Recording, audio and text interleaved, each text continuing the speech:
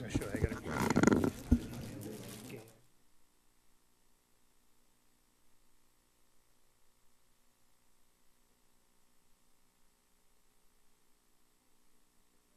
Look at it, it's just her, her comments.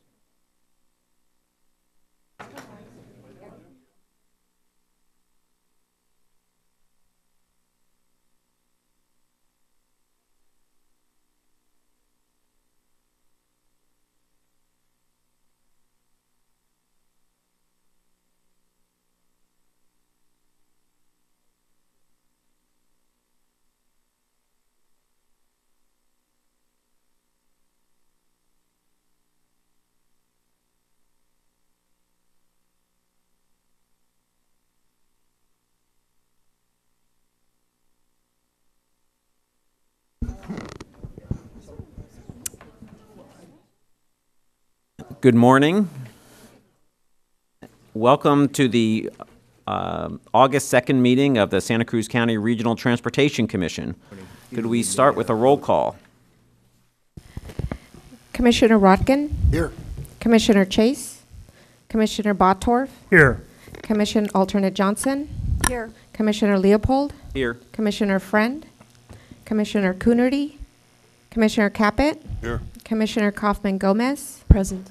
Commissioner Johnson. Commissioner Brown. Here. Commissioner Bertrand. And Commissioner McClendon. All right, well, the first item is oral communication. This is a time to address the commission about items under the purview of the Santa Cruz County Regional Transportation Commission. We are going to be hearing presentations about both rail and trail today.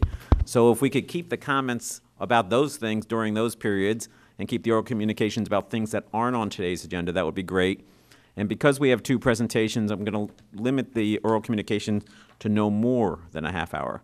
Is there anyone who would like to come forward? Good morning. Good morning, Clay Kemp, Executive Director of the Seniors Council and Area Agency on Aging. I have a handout for you. Not sure which way to send it. Some of you attended a solution summit uh, focusing on seniors and people with disabilities last November. And out of that summit, we created a number of work groups to address key issues facing that population. One of those work groups revolved around loneliness and isolation. And the reason I come here today is because transportation is a key element to combat that condition. And the handout I have is an infographic that the work group has put together regarding just some general information about loneliness and isolation. We will be coming back to the community with some specific actions and solutions, but right now this is just kind of an information um, item just to raise some awareness about this. I'm really happy to share with you also that the Commission has already contributed to countering this trend.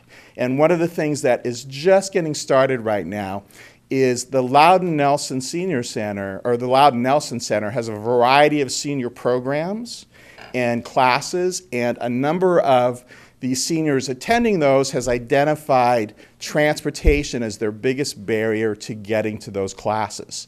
So Liftline and the City of Santa Cruz have worked together to use Measure D funds to provide seniors taking a class a free ride to attend those events. And we think participation and engagement is one of the most important things to counter the challenges that loneliness and isolation present and some of the facts and concerns that are in that fact sheet. So I'm just really happy to share that, you know, not only raising awareness about the issue, but um, announce that Measure D funds are being used effectively to counter some of that. And, you know, thank um, to all of you for that campaign and its success.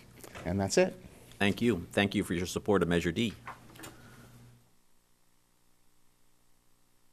Good morning. Hope you enjoyed your hiatus for the last few weeks. Uh, Michael Saint uh, with uh, Campaign for Sustainable Transportation. And uh, before each of these RTC meetings, uh, I go through a constant battle on what to say for this limited time of three minutes to try and help to move the needle away from uh, single car occupancy to mass transit. Um, today, I'm not going to talk about SB this, AB that, or any of the numbers. We all know that the Aux Lane projects are not going to solve our congestion problem and actually will also harm our greenhouse gas emissions. Um, Primarily, if you believe that the thing I want to talk about is climate change and global warming, we seem to not touch on that too often anymore. Uh, If you believe in climate change, then we should do everything we can to mitigate this issue.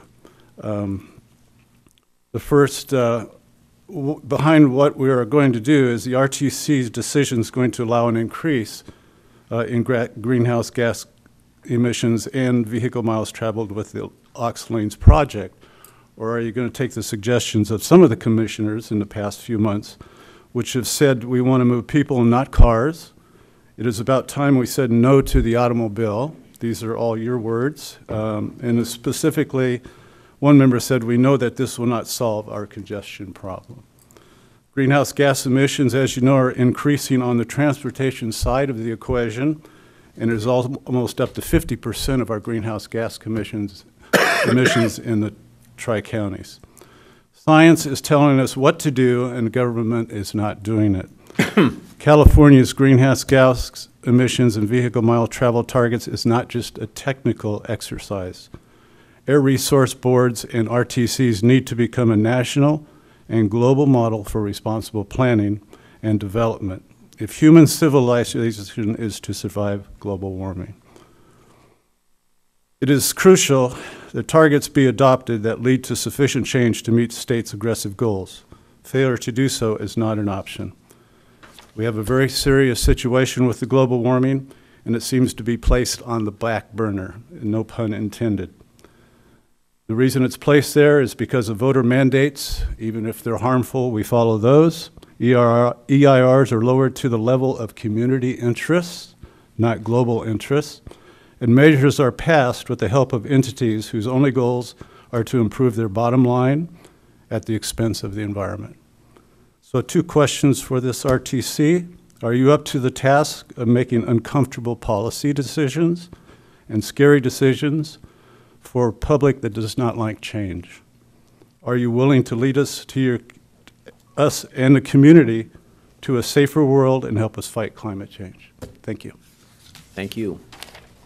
Is there anyone else who'd like to address us during oral communication? Good morning, Mr. Hurst. Good morning, Commissioners. Uh, Lowell Hurst, Mayor of Watsonville. So I say welcome to Watsonville. I don't know who's going to give the traffic report today. I wasn't out there on the road. I was local. But when I came through the garage, I saw a lot of cars in the garage today. A lot of people dro- obviously drove here. But one person in the audience really exceeded uh, all expectations that I could uh, ever have. She actually rode her bicycle up the entire up the entire incline. And so that's Gina Cole back there. Uh, So I say congratulations to Gina. We're in a celebratory mood this morning. Good morning. Hi, my name is Peter Stanger. Uh, I also want to uh, congratulate all the commissioners and anybody here that uh, took uh, Metro or rode their bike in to Watsonville today. Uh, I did along Beach Street again. Beach Street has no bike lane. Beach Street has 40 miles an hour. Uh, also, the access into Watsonville along Freedom Boulevard has no bike lane. Yet, we're here uh, talking about, um, or we will be shortly talking about how to parcel out money uh, that would could be used to make biking safer in Santa Cruz County. Um, I think it's a matter of trust. Um, back in January, one of the commissioners said, gee, maybe the public isn't trusting us. And I'd like to point back to that and say, yeah, that's true, because you wound up with two plans for segment 17 of the Monterey Bay Scenic Sanctuary Trail, and neither one of them, it looks like it's going to get funded until the uh, train tracks are completed up in Santa Cruz. Uh, they built, you all built the uh, La Sel- rebuilt the La Selva Trestle with no bike lane. Uh, again, what are you thinking here? I mean, are the bikes going to just stay on San Andreas Road? Um, also, uh, you built the Yacht Harbor parking lot and bike lanes there uh, using Monterey Bay Scenic Sanctuary Trail funds. Uh, couldn't there be some money for South County, like Beach Street or uh, Freedom Boulevard. Um, I just don't know. I, I think it, there's a big effort here to depress the will of the people. I see um, that now your cronies uh, with Fort uh, want to depress the uh, citizens of Capitola from voting um, on what their feelings are about uh, a train running through their community. I would ask that this commission um, start listening more to the people and perhaps even put it on a ballot. Thank you.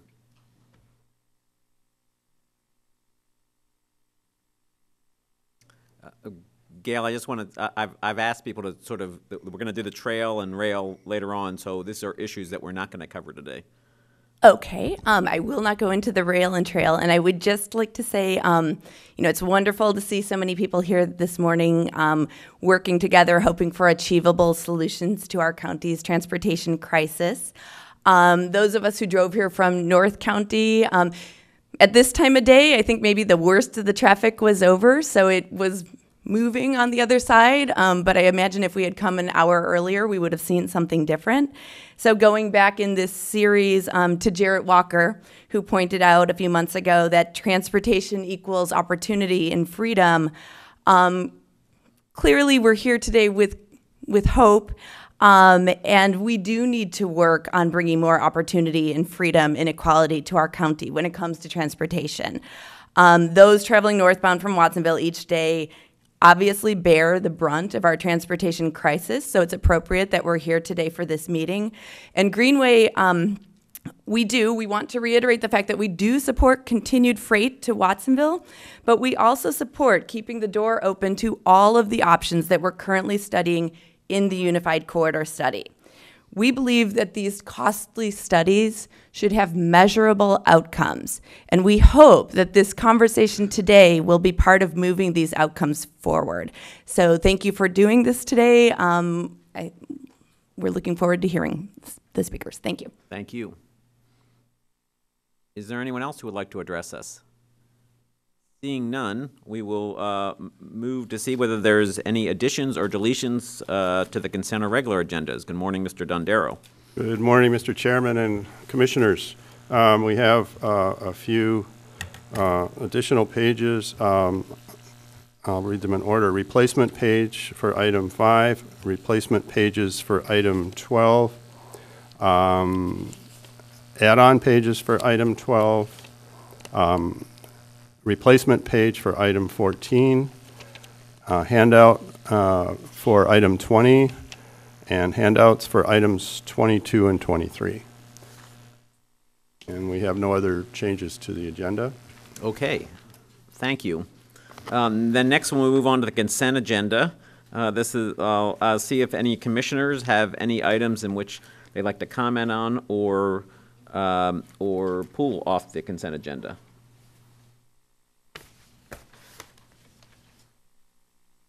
Seeing none, um, uh, it would be appropriate time for a motion. Move approval of the consent agenda. Did you want to ask the public if anybody had Yeah. issues first? Uh, uh, Thank you for reminding me. Second. Uh, uh, Is there anyone from the public who would like to address items on consent? Then we will go- go back. There's a motion by Rotkin, seconded by Bottorff. Uh, All in favor signify by saying aye. Aye. Any opposed? Motion carries unanimously.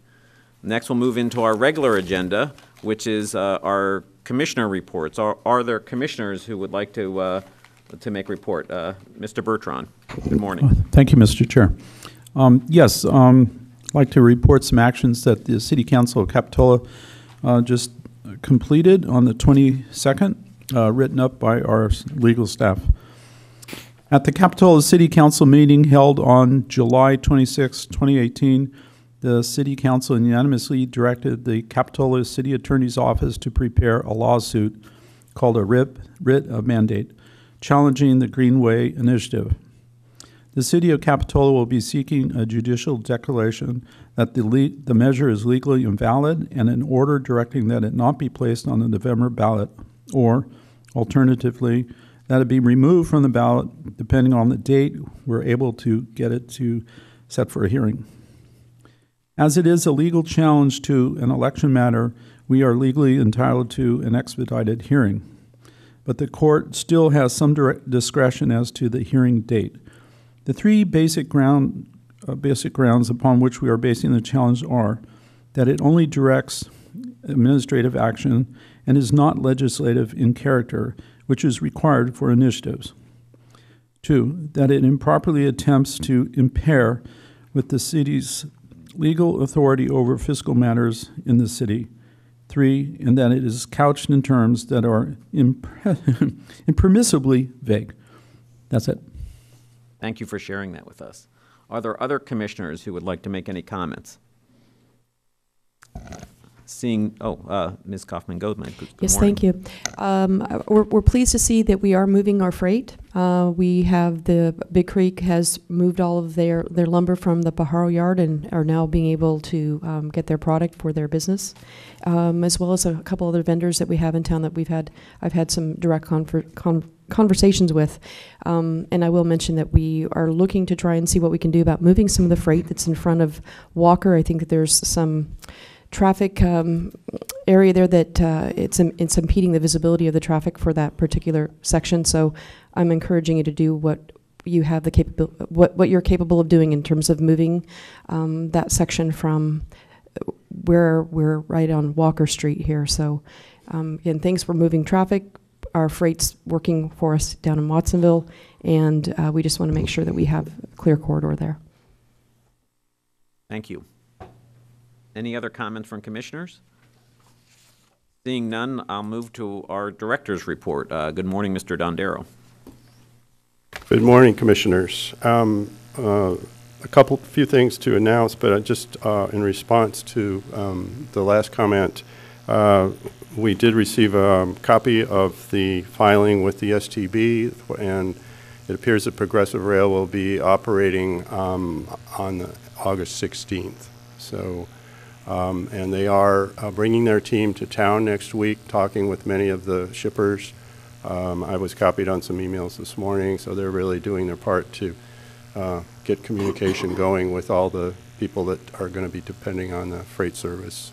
So that's good news. Um, As far as moving the tank cars that I think you're referring to, um, unfortunately, Iowa Pacific is still um, in control of those, and um, we've asked them to move them, but I don't think we've received any response. So probably we'll have to wait until Progressive gets on board uh, to move those. Um, So a few other items. um, uh, Oh, and also in response to the Capitola um, uh, statement that uh, Commissioner Bertrand just read, uh, we did send uh, a a letter to City Council yesterday, a comment letter. that's very consistent, actually, with the uh, content of your statement. So, um, so we're looking forward to seeing the outcome of that. Um, So the North Coast Rail Trail Project, uh, at our last meeting, we announced that uh, we were anticipating release of the draft EIR for this seven and a half mile uh, North Coast Trail Project. Um, Our staff and our consultant team have been working on wrapping up a few elements of the analysis in this document, and uh, the current uh, anticipated release date is sometime next week. Um, I still don't, can't give you an exact date, but we will send out a news release uh, when it's available, and we'll also publish dates for the public meetings um, that will accompany that. Uh, It will be posted online. Hard copies will be available at our office, as well as in major public libraries uh, during the 45-day review period. Um, Next week, on August 9th, uh, at 11 a.m., the Transportation Agency for Monterey County will conduct a groundbreaking ceremony for their new uh, passenger station at the site of the current Amtrak station. Um, TAMC uh, will also be adding new layover tracks to accommodate the extension of commuter rail service from San Jose into Salinas. And as you all remember, um, that service um, will make a stop in Pajaro Junction, very close to where we're sitting today.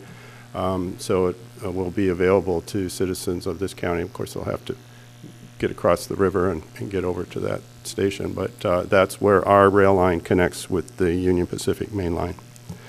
Um, Then we'd like to welcome a new staff member. Uh, Benjamin Wolf joined us in June um, as, on a senior accounting position. Um, Most recently, Ben served as the financial controller at Newman's Own Organics in Aptos for over four years. And prior to that, he was the chief financial officer at Network Management Solutions in Santa Cruz. He's also an active CPA with a focus on tax preparation and business consulting. Um, Ben's not here today, but uh, he's working back at the office, keeping, learning, learning the ropes with the books before Daniel leaves us. Um, Ben comments that, uh, quote, "I'm very excited to join the RTC. Having grown up in Santa Cruz, I've seen our town change so much over the years, with transportation being one of our primary community issues. I hope my finance and operations background can enhance the RTC's processes and reporting, enabling us to de- efficiently deliver much-needed transportation solutions to our county." Uh, Ben graduated from Santa Cruz High, Cabrillo College, and Cal Poly San Luis Obispo. Uh, In his free time, he enjoys mountain biking and longboarding in addition to spending quality time with family, friends, and his dog. So um, that concludes my report. I'll be glad to answer any questions. Are there questions for Mr. Dondero? Um, Great to see a new staff member on board. That's obviously a critical position. Yes. Look forward to meeting him. Uh, Next, we'll move on uh, to item 21, which is our Caltrans report. Uh, uh, Last month, we, uh, or last meeting, we didn't get to our Caltrans report, so I'm I'm glad to uh, to recognize our Caltrans representative. Good morning. Thank you. Good morning, Chair. Good morning, Commissioners. I do have a few announcements.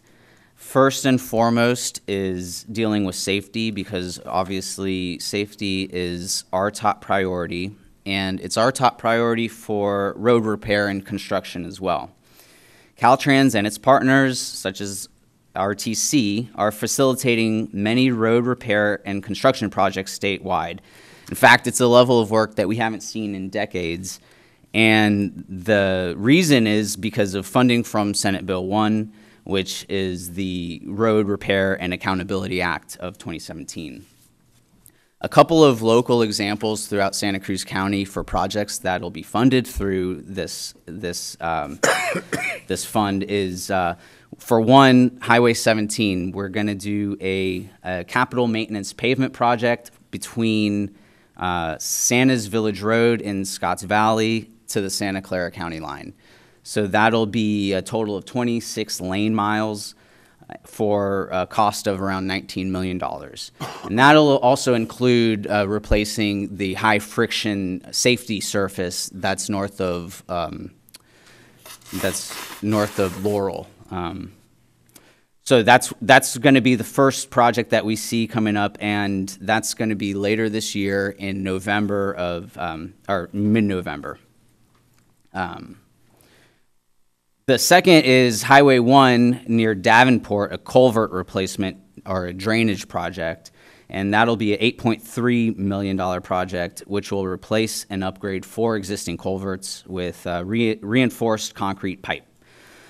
Uh, that, that, that's a little later, scheduled for fall of 2021. And then further down in uh, spring of 2022 is Highway 9 San Lorenzo River and Kings Creek Bridge Replacement Project. That'll be a $23.2 million project that'll, that'll uh, construct needed uh, replacements for those bridges. My second announcement is um, a call for projects that is part of the local partnership formulaic program. That's cycle two of uh, the local partnership formulaic program. That's administered by the California Transportation Commission and uh, will total $200 million statewide in annual formula grants to reward counties, cities, districts, and regional transportation agencies that have voter approved fees or taxes solely dedicated to transportation improvements. And of course, this program will help address the state's highest transportation needs while fairly distributing the economic impacts uh, um, of increased funding. This is also funded, provided by Senate Bill 1, the Road Repair and Accountability Act. And so this is the, the call for projects is for cycle two with applications due uh, August 29th. And as a refresher, in cycle one, the RTC was uh, able to conduct a, a full, de- uh, full depth recycle and overlay project throughout the county for around 500,000 and there were two vehicle replacement projects for Santa Cruz Metro um, that were that were uh, 155,000 and 631,000. So those were where we're seeing some immediate dividends in our community here.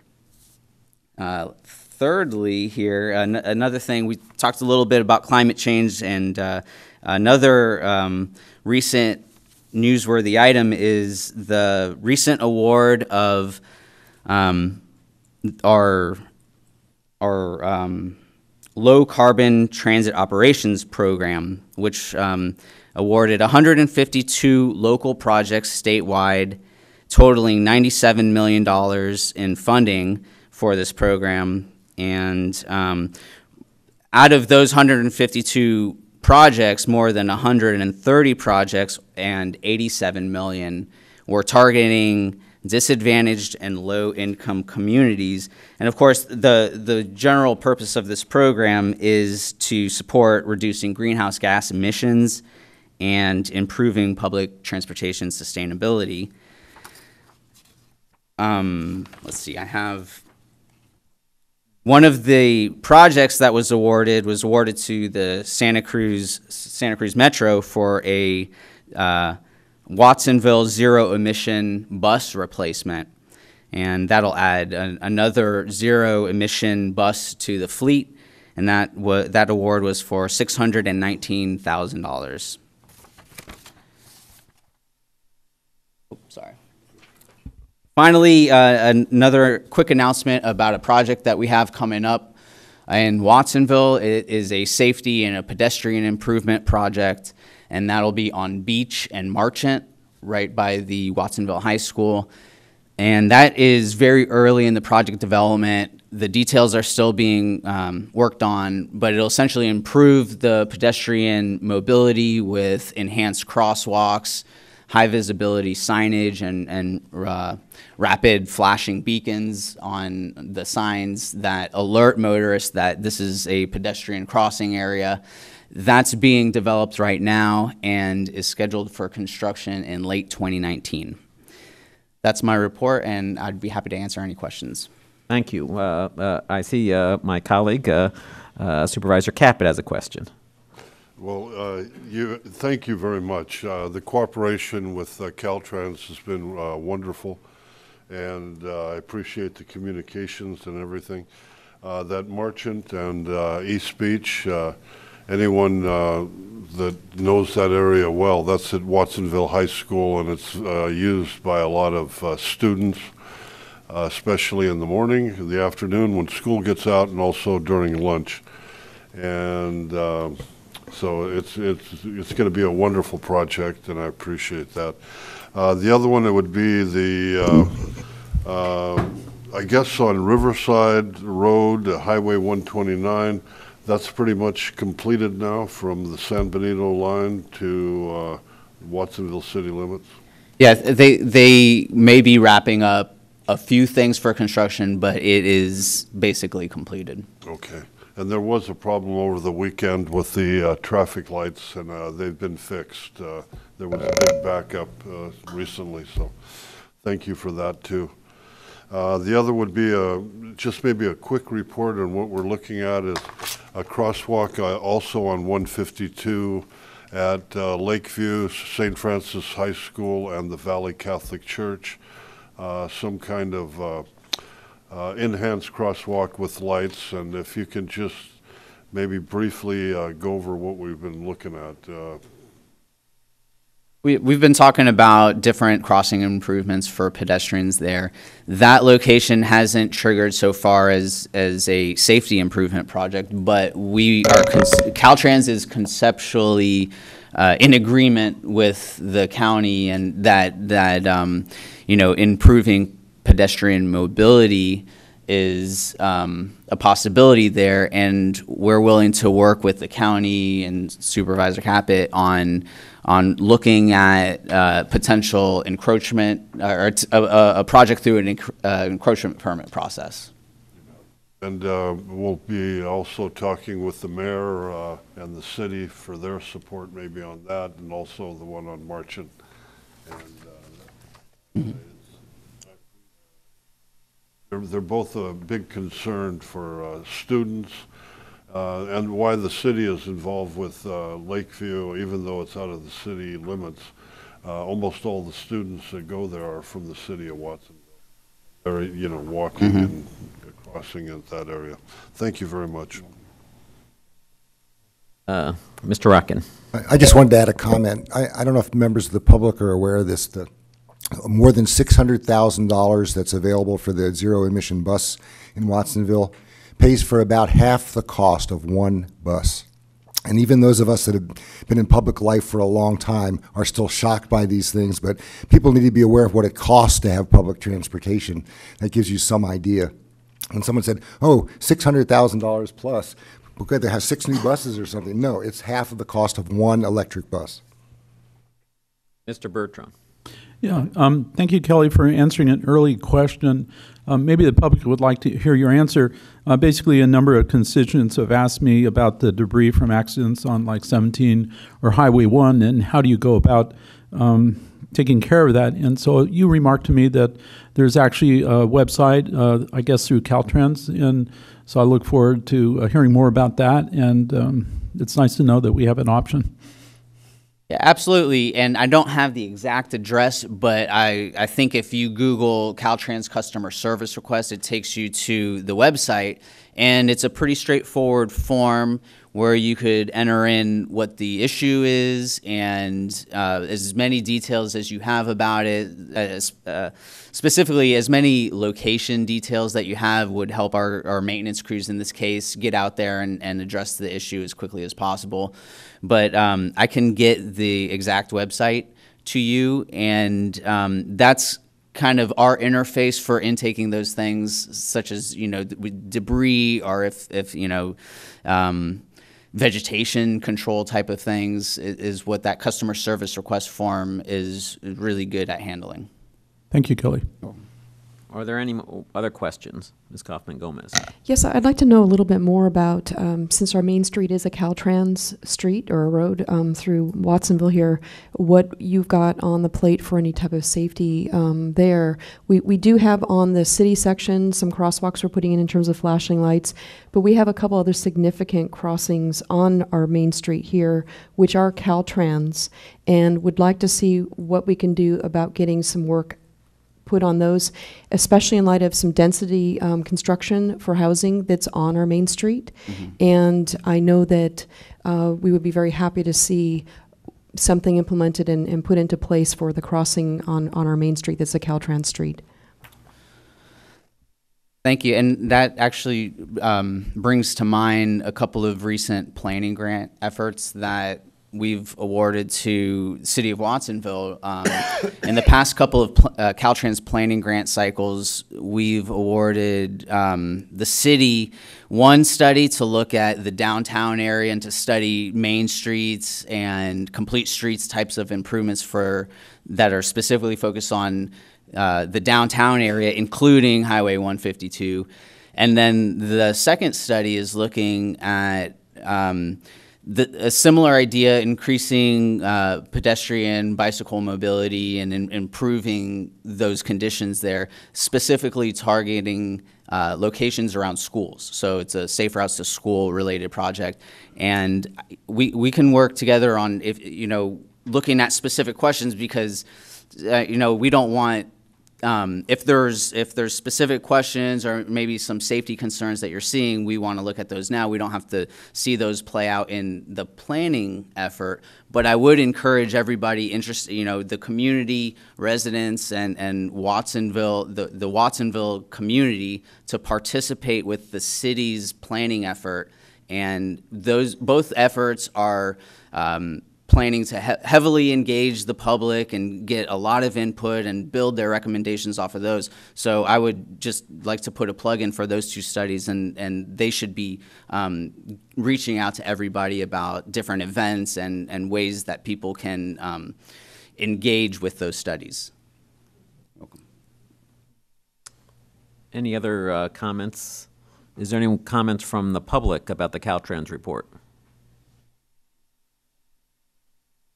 Hi, Stanley Sokolow, Santa Cruz. Um, a few years ago, I rode my bike uh, from Santa Cruz to Costanoa KOA campground on Highway 1 along the shoulder. And uh, on, on the route, I encountered a lot of patches of broken glass. And even though I'm alert to it, I accidentally punctured my, my tire on one where you couldn't see that the glass was there. Uh, so it, I wonder how often Caltrans sweeps the shoulders of Highway 1 between Santa Cruz and going north. Thank you. I I think what a good thing to do would be is we have our our quarterly directors report, and I, I know that we're updating that report for the next quarter. So I think what I'm gonna do is work. We, you know, we talked about the customer service request a little earlier.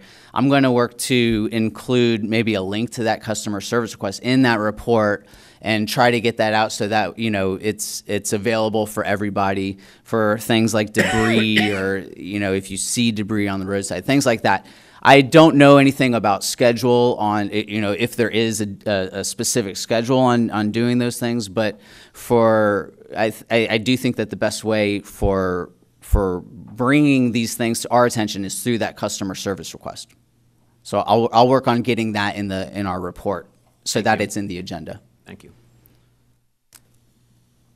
Um, a couple of years ago, I had asked um, for safety improvements at Freedom Boulevard and um, Soquel Drive, where it goes over the freeway, and that was evidently um, part of Caltrans jurisdiction because it went over the freeway. When the uh, Santa Cruz Public Works devised the green lanes, um, they did a, a job where when you're going south on the Pacific Coast uh, bike route, um, the green lane stays on the right-hand side, although you have to make a left turn. And so you then have to go over two lanes. For some reason, it just dead ends on the right-hand side instead of letting bicyclists get across the two lanes and make a left turn. On the other direction, going towards Aptos High School, still on the Monterey, on the uh, Pacific Coast bike uh, route. Um, bicyclists have to go over the freeway. This was part of Caltrans. Then they have to make a left turn onto Soquel Drive. And again, uh, Caltrans approved these plans where the um, bike lane stays on the right-hand side of the road, and there's no way for a bicyclist to safely get across the two lanes to get to the turn pocket to get into Soquel. Um, can you address where the uh, where the lack of oversight by Caltrans on this plan was? Because this makes no sense. I don't have any specifics on that. I do remember seeing that go through the encroachment permit process, but I don't have any specifics.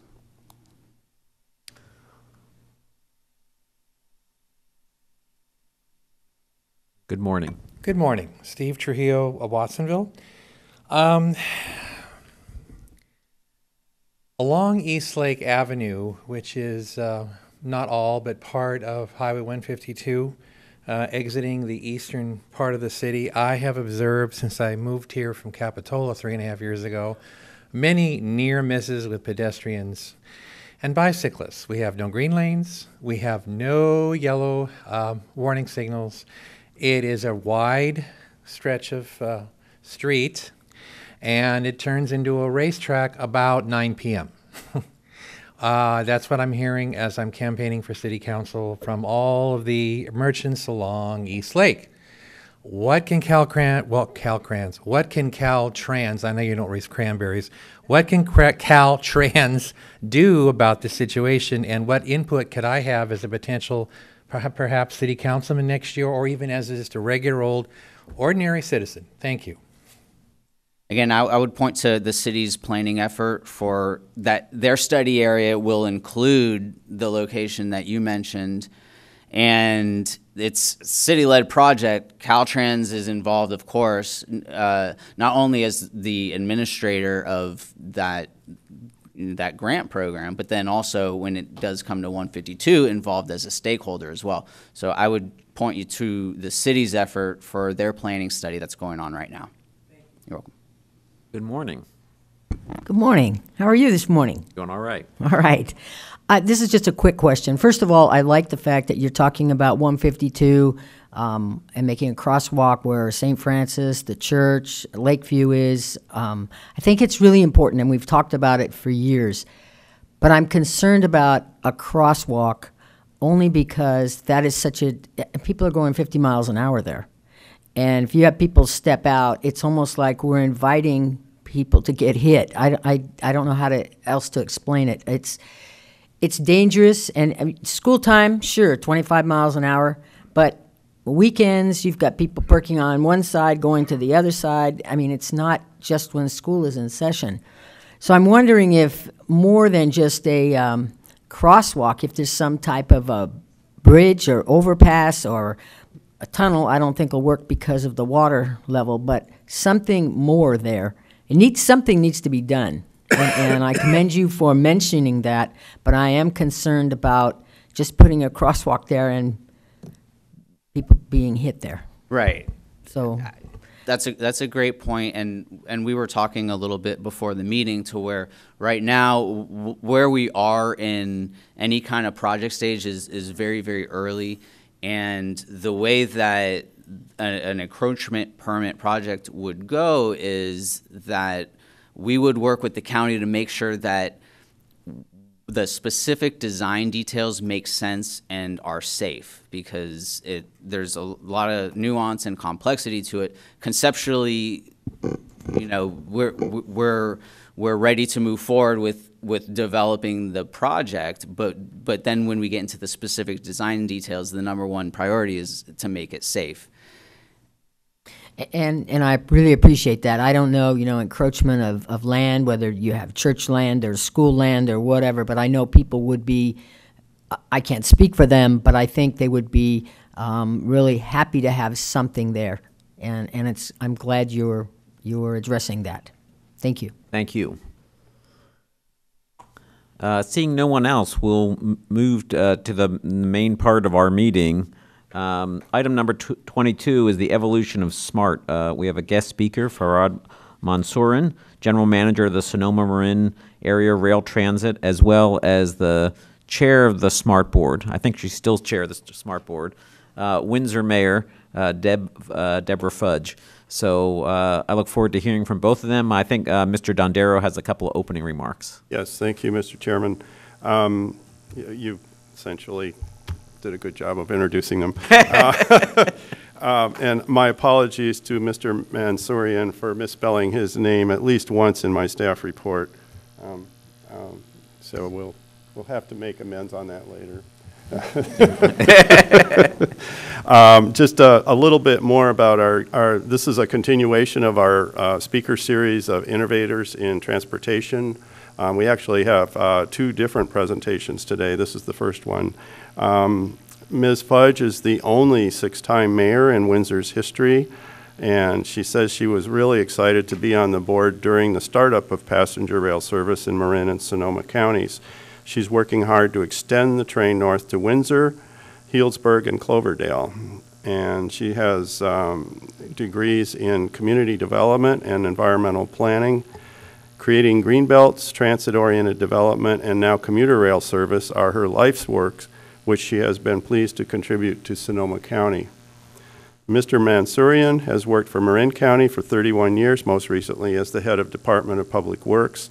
He also managed the Marin County Transit Agency for 12 years and served as executive director of Marin County's Congestion Management Agency for 14 years. So he's got a deep background in transportation. In addition, Mr. Mansourian was a key figure in the 2008 effort to pass Measure A, a quarter cent sales tax approved to fund smart service. In 2011, the SMART Board reached a unanimous agreement with interim executive director Farhad Mansourian to become the agency's new permanent general manager. Um, a little bit of uh, comparison of the SMART line to our lines and why there's uh, a, a bit of interest uh, coming from this county. Um, both lines uh, parallel highways that are congested for many hours of the day in a context that offers few alternative routes. Uh, both lines are single track. Um, both have existing freight service, and both serve multiple established communities that continue to grow. Uh, both lines are building parallel bike pedestrian trails to serve a growing population of bike users. And uh, both corridors host a heavy visitor traffic in addition to many commuters going to work and school. And finally, both corridors have a substantial number of seniors living nearby who want alternatives to driving a car. So um, back in May, the Santa Cruz Area Chamber led a group of community leaders uh, up to ride the SMART train, and two of our uh, board members uh, were able to go, um, Commissioner Bertrand and Commissioner uh, Coffman Gomez. Um, but we felt like there was uh, quite a, a rich story to be told here, and so we thought, well, if we couldn't get you up there, we would bring the story here. So that's why uh, we invited our guest speakers today. So um, I'll uh, hand it over to uh, Mr. Mansourian. Or who, who's starting first? Deborah. Okay, Deborah will start. Thank you. Um, as you'll hear today, a rich story is probably an understatement about what it took to get a train running through Sonoma and Marin counties. I just wanted to give a brief, uh, you did a great job, George, with my background. Um, I've been a city council member for the town of Windsor for 22 years. And in fact, as the SMART district was being formed, Windsor started building from scratch a downtown, a TOD, with three story mixed use buildings, and we built our own train station in 2007. The sales tax wasn't passed until 2008. So a lot of us in Sonoma Marin had vision, and on our own, without any help from SMART at the time, started you know training, planning for transportation planning. Um, so as because I was um, you know my appointment to SMART, I've been on the board for 13 years. I was appointed in 2005. Went through two sales tax measures. The second one was successful. So I, have been through that background and worked with um, Farhad for years. Um, I was chair in 2010, and then I've been chair for the past two years. But I think which is, which, what is of most interest to all of you is I'm a Santa Cruzan. So I moved here in 1970. I'm a 1974 graduate of Harbor High, the third full graduating class. My stepfather was a founding professor of UC Santa Cruz and was provost of Cowell College from 1974 to 1979.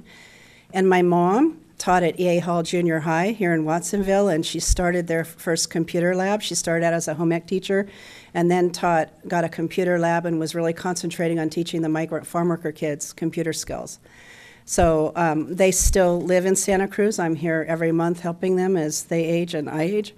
And so I know this rail back and you know from the back of my hand. I've been riding my bike along it for years, and I just can't tell you how excited I am to be able to share with Farhad our experience with SMART to be able to help my own hometown.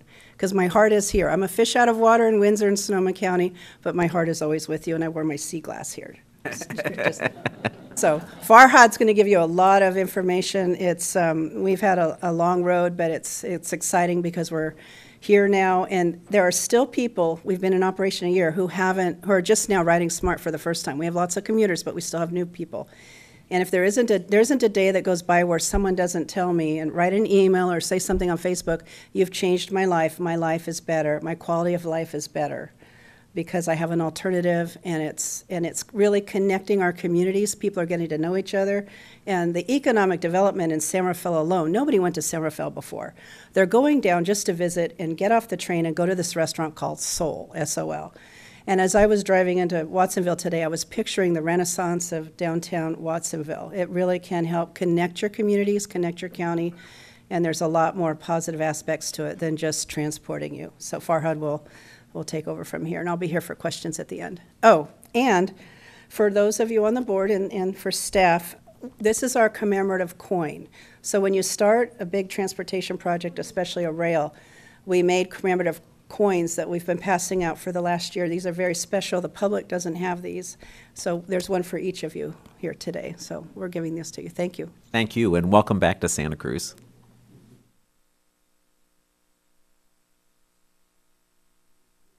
Good morning, Mr. Chairman, distinguished commissioners, Farhad Mansourian, Smart's General Manager.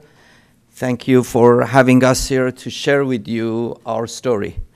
As soon as I get the clicker, um, so our plan is in the next four hours, take you through what we've gone over the last 50 years and exhaust you so you don't ask any tough questions at the end. Um, I, uh, our plan, uh, our chair and I, our plan is to walk you through a journey that we did since the 70s and how we got to where we are today.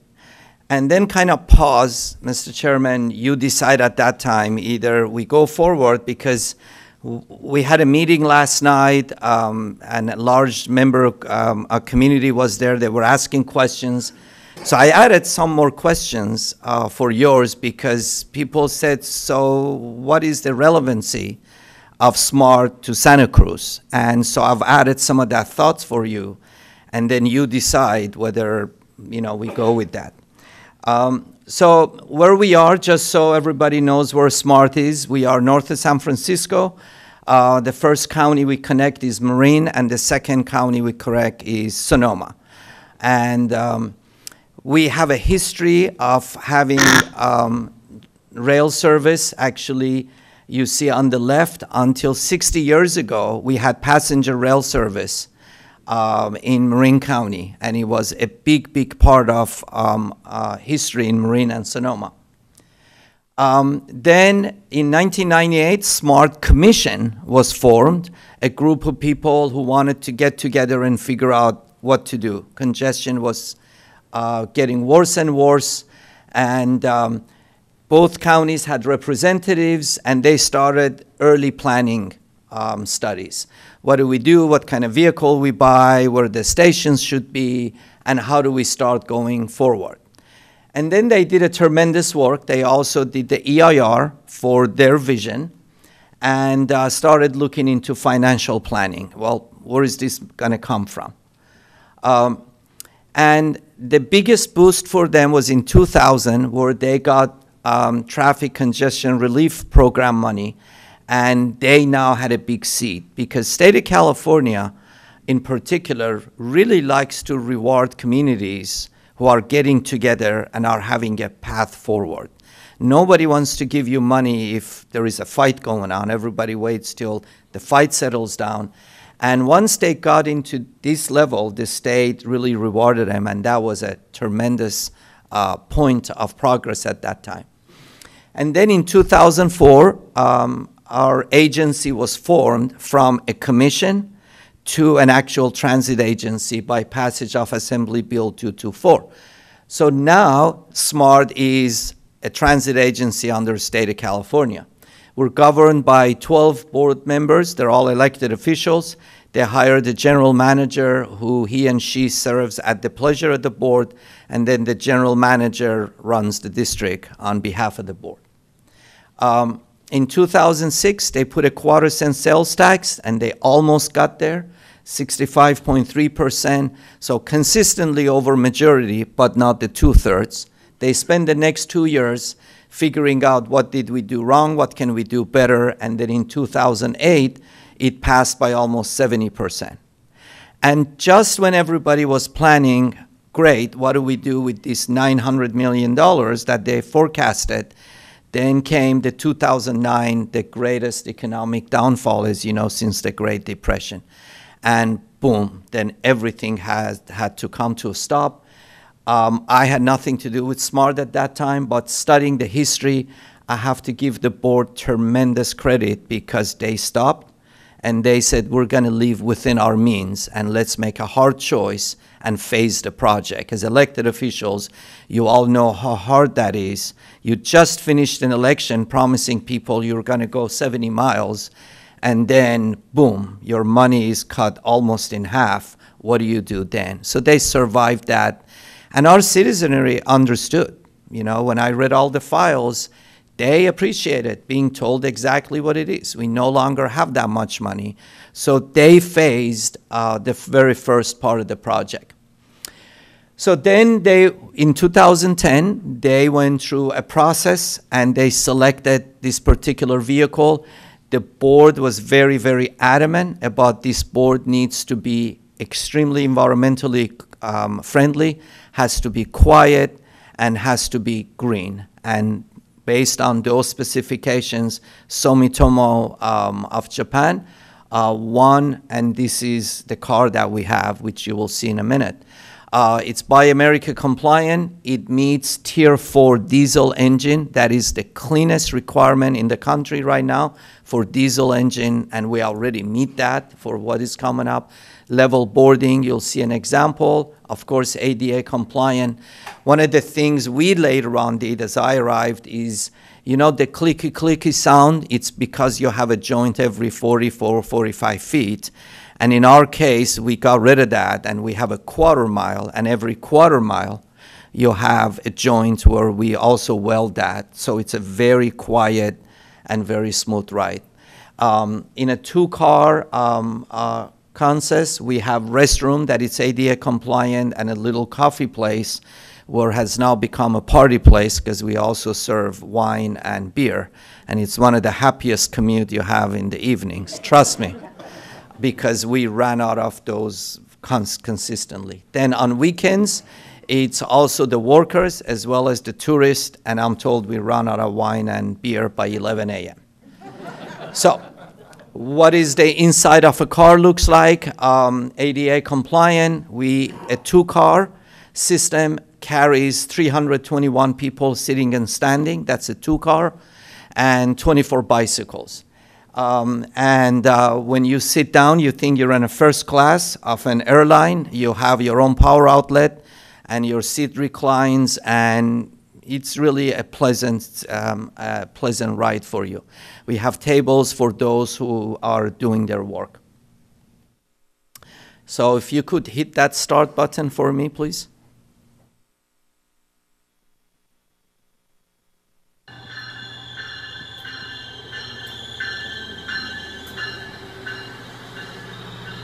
I thought we'd take you inside so you can see what the inside looks like in a, in a real world. This is a three car. Very quickly after we opened up, we ran out of capacity. Um, lots and lots of bicycle, lots and lots of passengers, so we immediately had to carry third car, and that's for over 500 people and about 36 bicycles. So here is a look at what inside looks like. This is on my iPhone, so no Hollywood claim. Uh, to the left is the ADA compliant restroom. If you go the farthest distance, it's one hour, seven minutes. And uh, our board had the vision that maybe that's a little bit too long, so they created the restroom for us. Then you go through and you're now in the next car. And in that next car we have the coffee place where you can buy um, you know very simple snacks uh, items.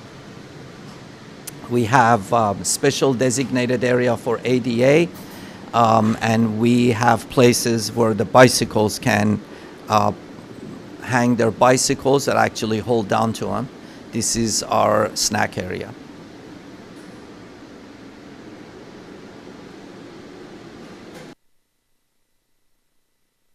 So that was the empty car. We thought we'd show you what, what not empty car looks like.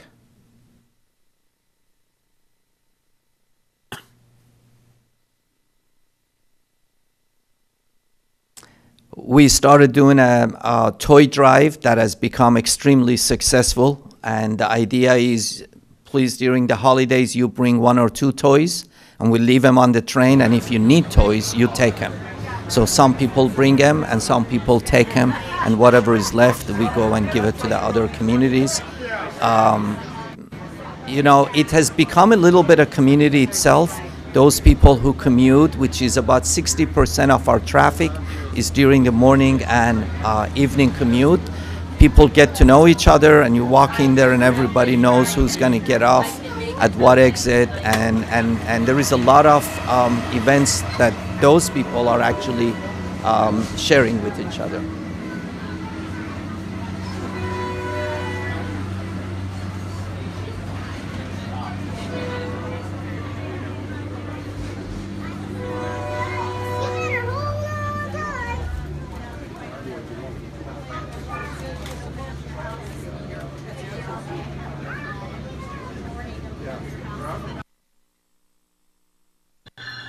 Oops.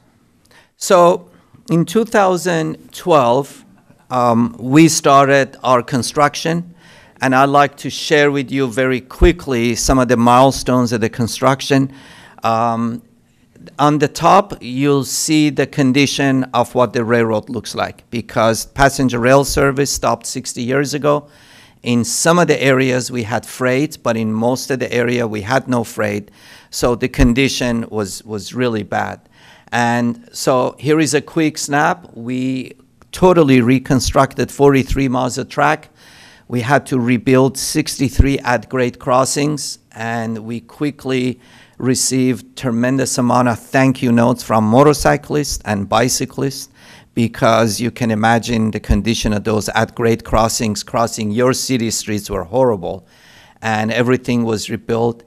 Um, you know, as my Caltrans friend can tell you, you go through a public works life and you're lucky in your county public works, city public works, you replace one bridge in your career life. For Caltrans, maybe few. We had to replace 27 bridges that were old and we had to totally rebuild them because you now have this fast moving modern rail and heavy freight that needed to accommodate um, uh, our um, transportation. So we had to rebuild. We had to rebuild that.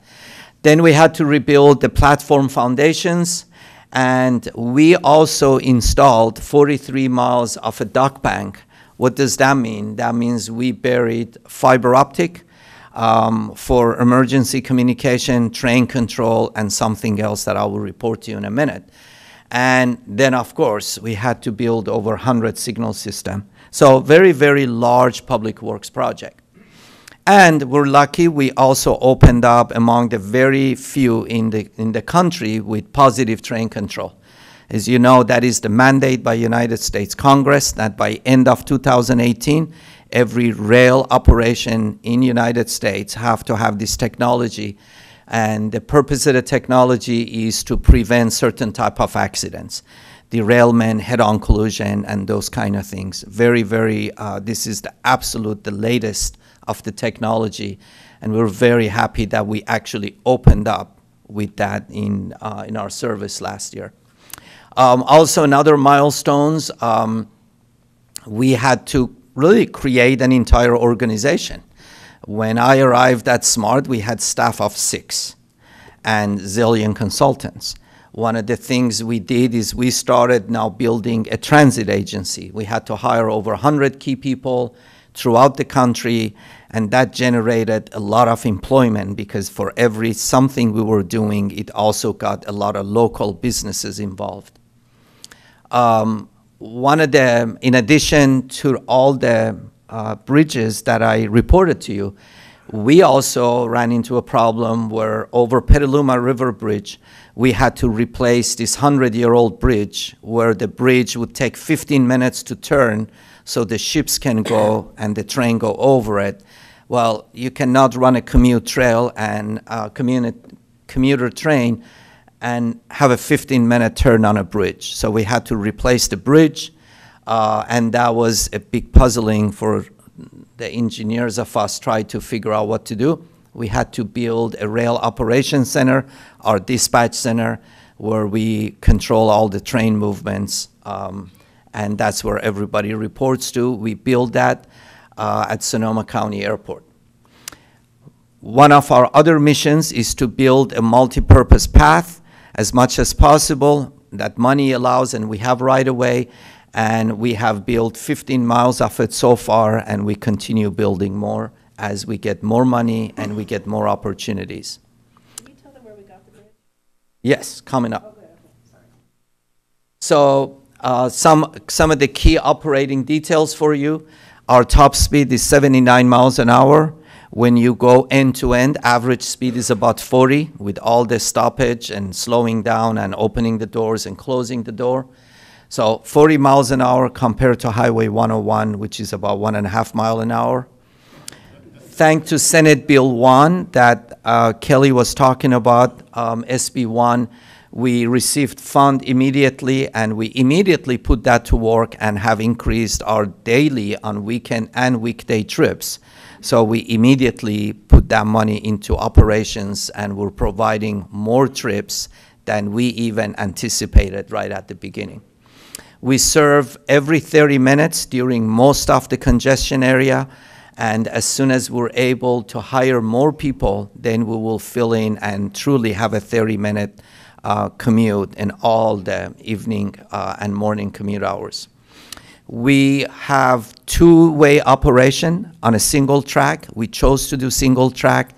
Our environment uh, and the preservation of our environment is very crucial, as it is on the top of our list. We did not want to build two tracks where environmentally was sensitive. So we operate on a single track and we have built four passing lanes where the trains pass each other at the speed of course, very carefully and very precisely. And um, that's one of the deals with the positive train control. And since last year, we have carried 650,000 people. All the people who said nobody's going to write you, all the people who said this is absolutely just an expensive toy, um, now are, well, I wish I could say they're quiet, but they're not. They continue saying, yeah, but, and we'll get into that. So we're very happy, 650,000 people who are no longer on highways and local roads and have got their life back. Environmental mitigation. When you do major public works project, as you know, for everything you do, you have to do environmental mitigations one of the things we wanted to do and our board was adamant is instead of doing all the little mitigations here and in this county and in that city, can we do something major?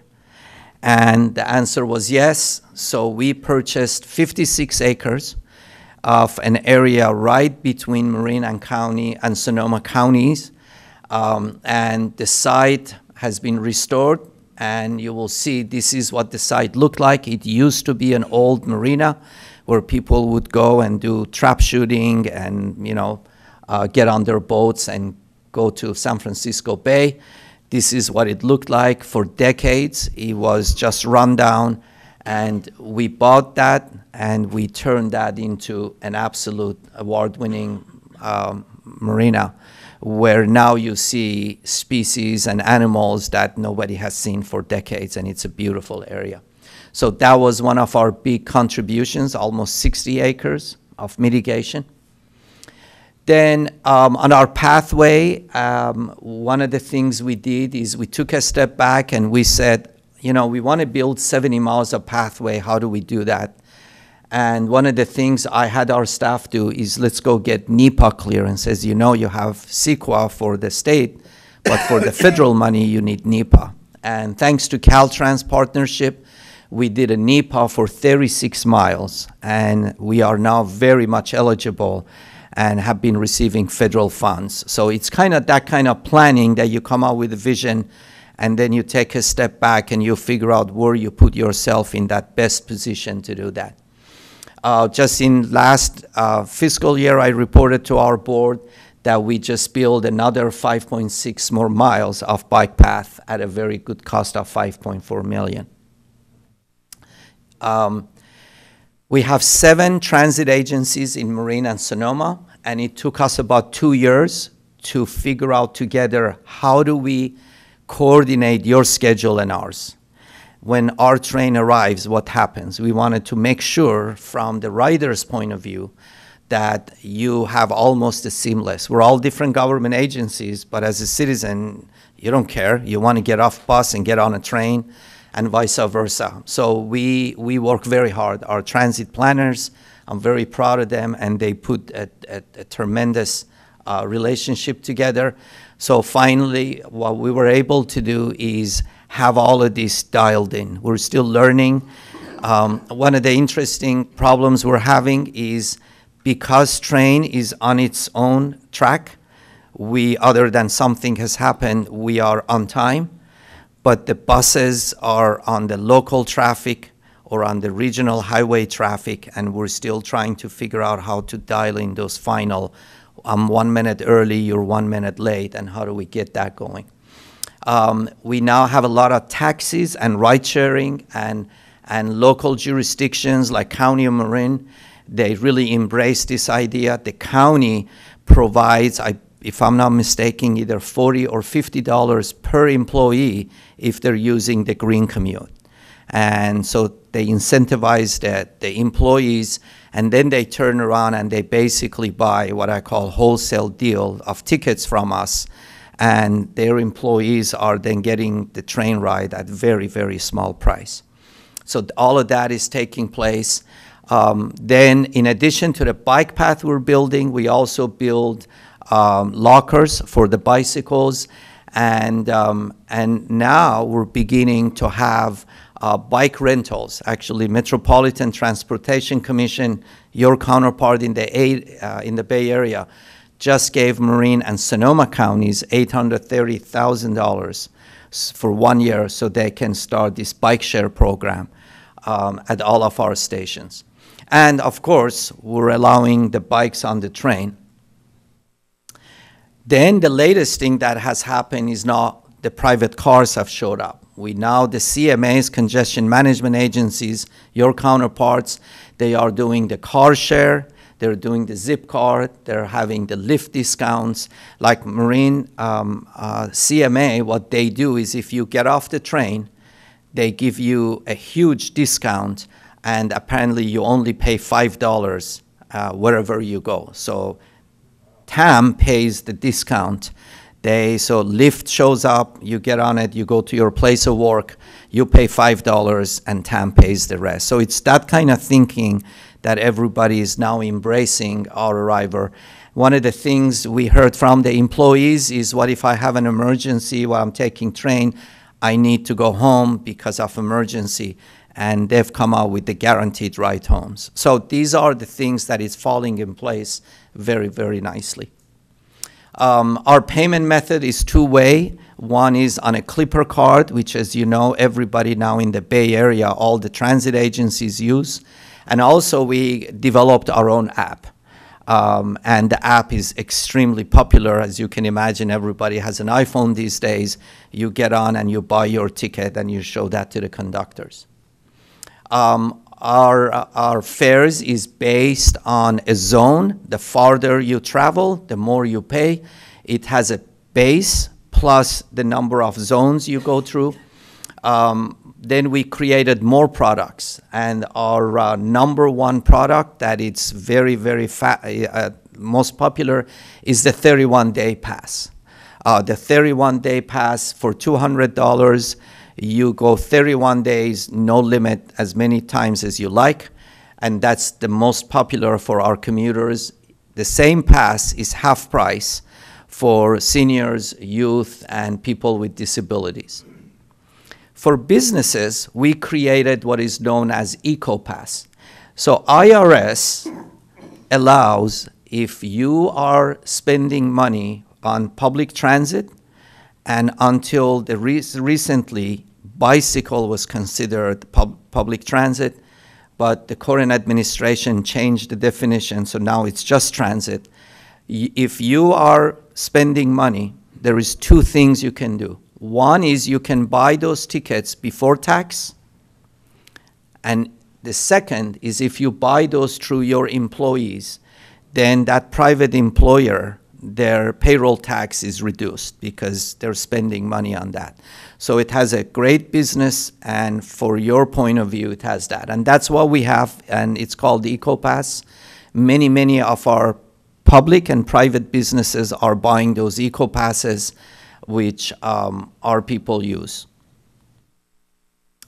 Um, some of the smart benefits that we are we planned and we're looking at is, of course, it's fast it's reliable, and it's dependable.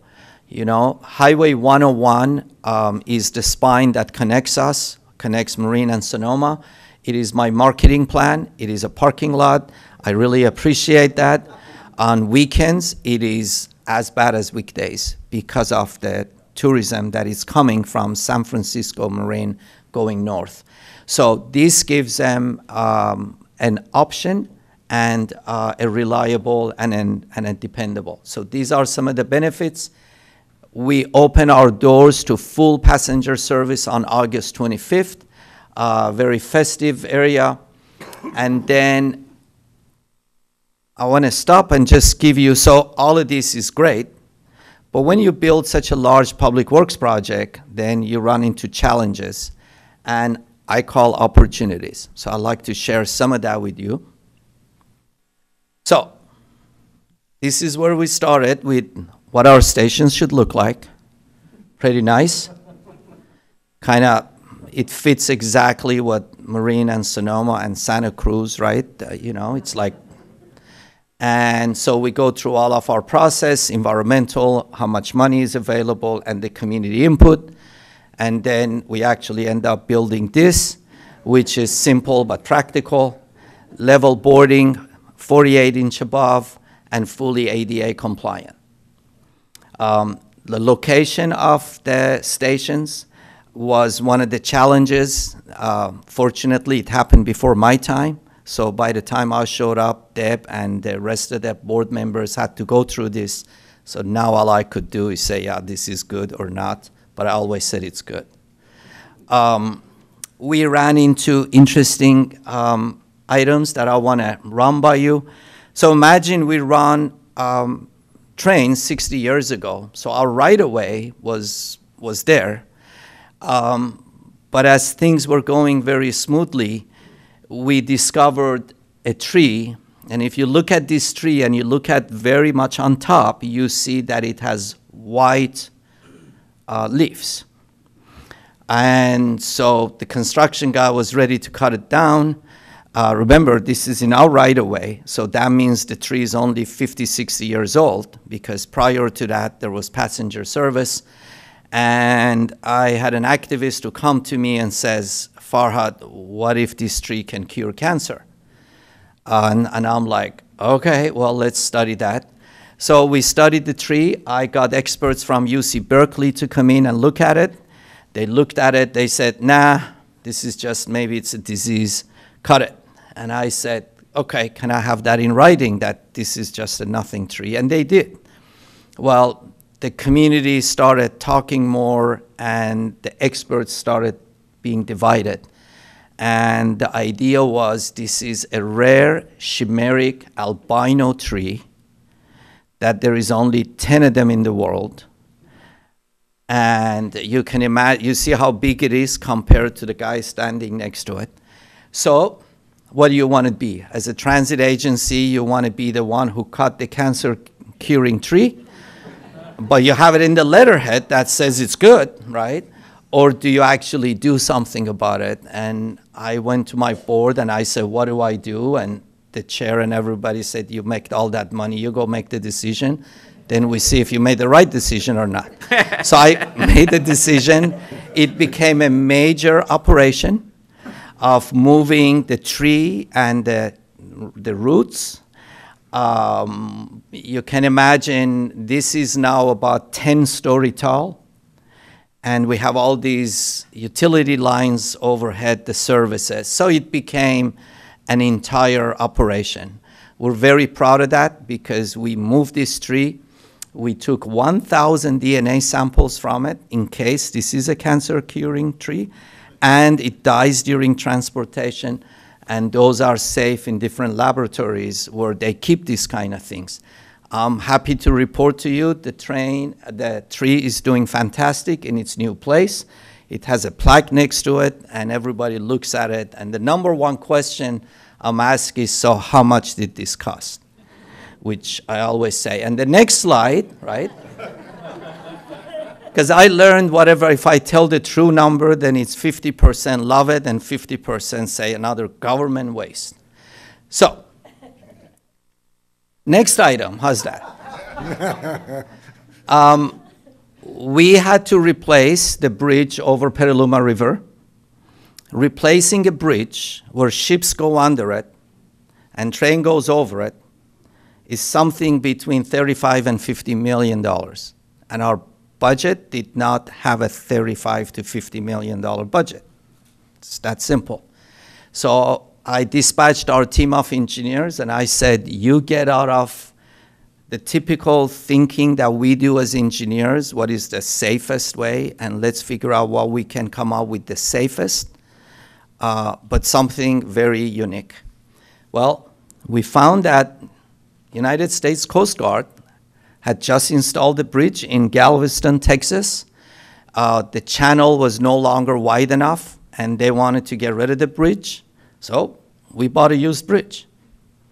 I took that item to my board, and there was almost no comments, but everybody was staring at me like, really?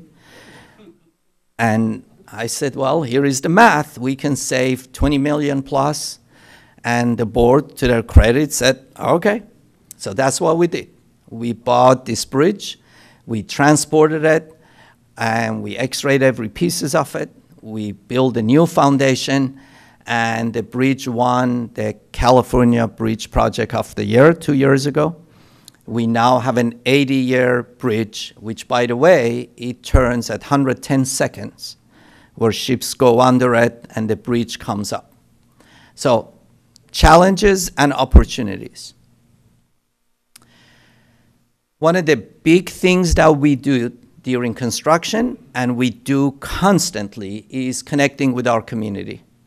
Um, young, experienced, Latino communities, other communities, we want them to know what is happening with their train, what is coming up, how, and a lot of safety education. Some of the slides for you.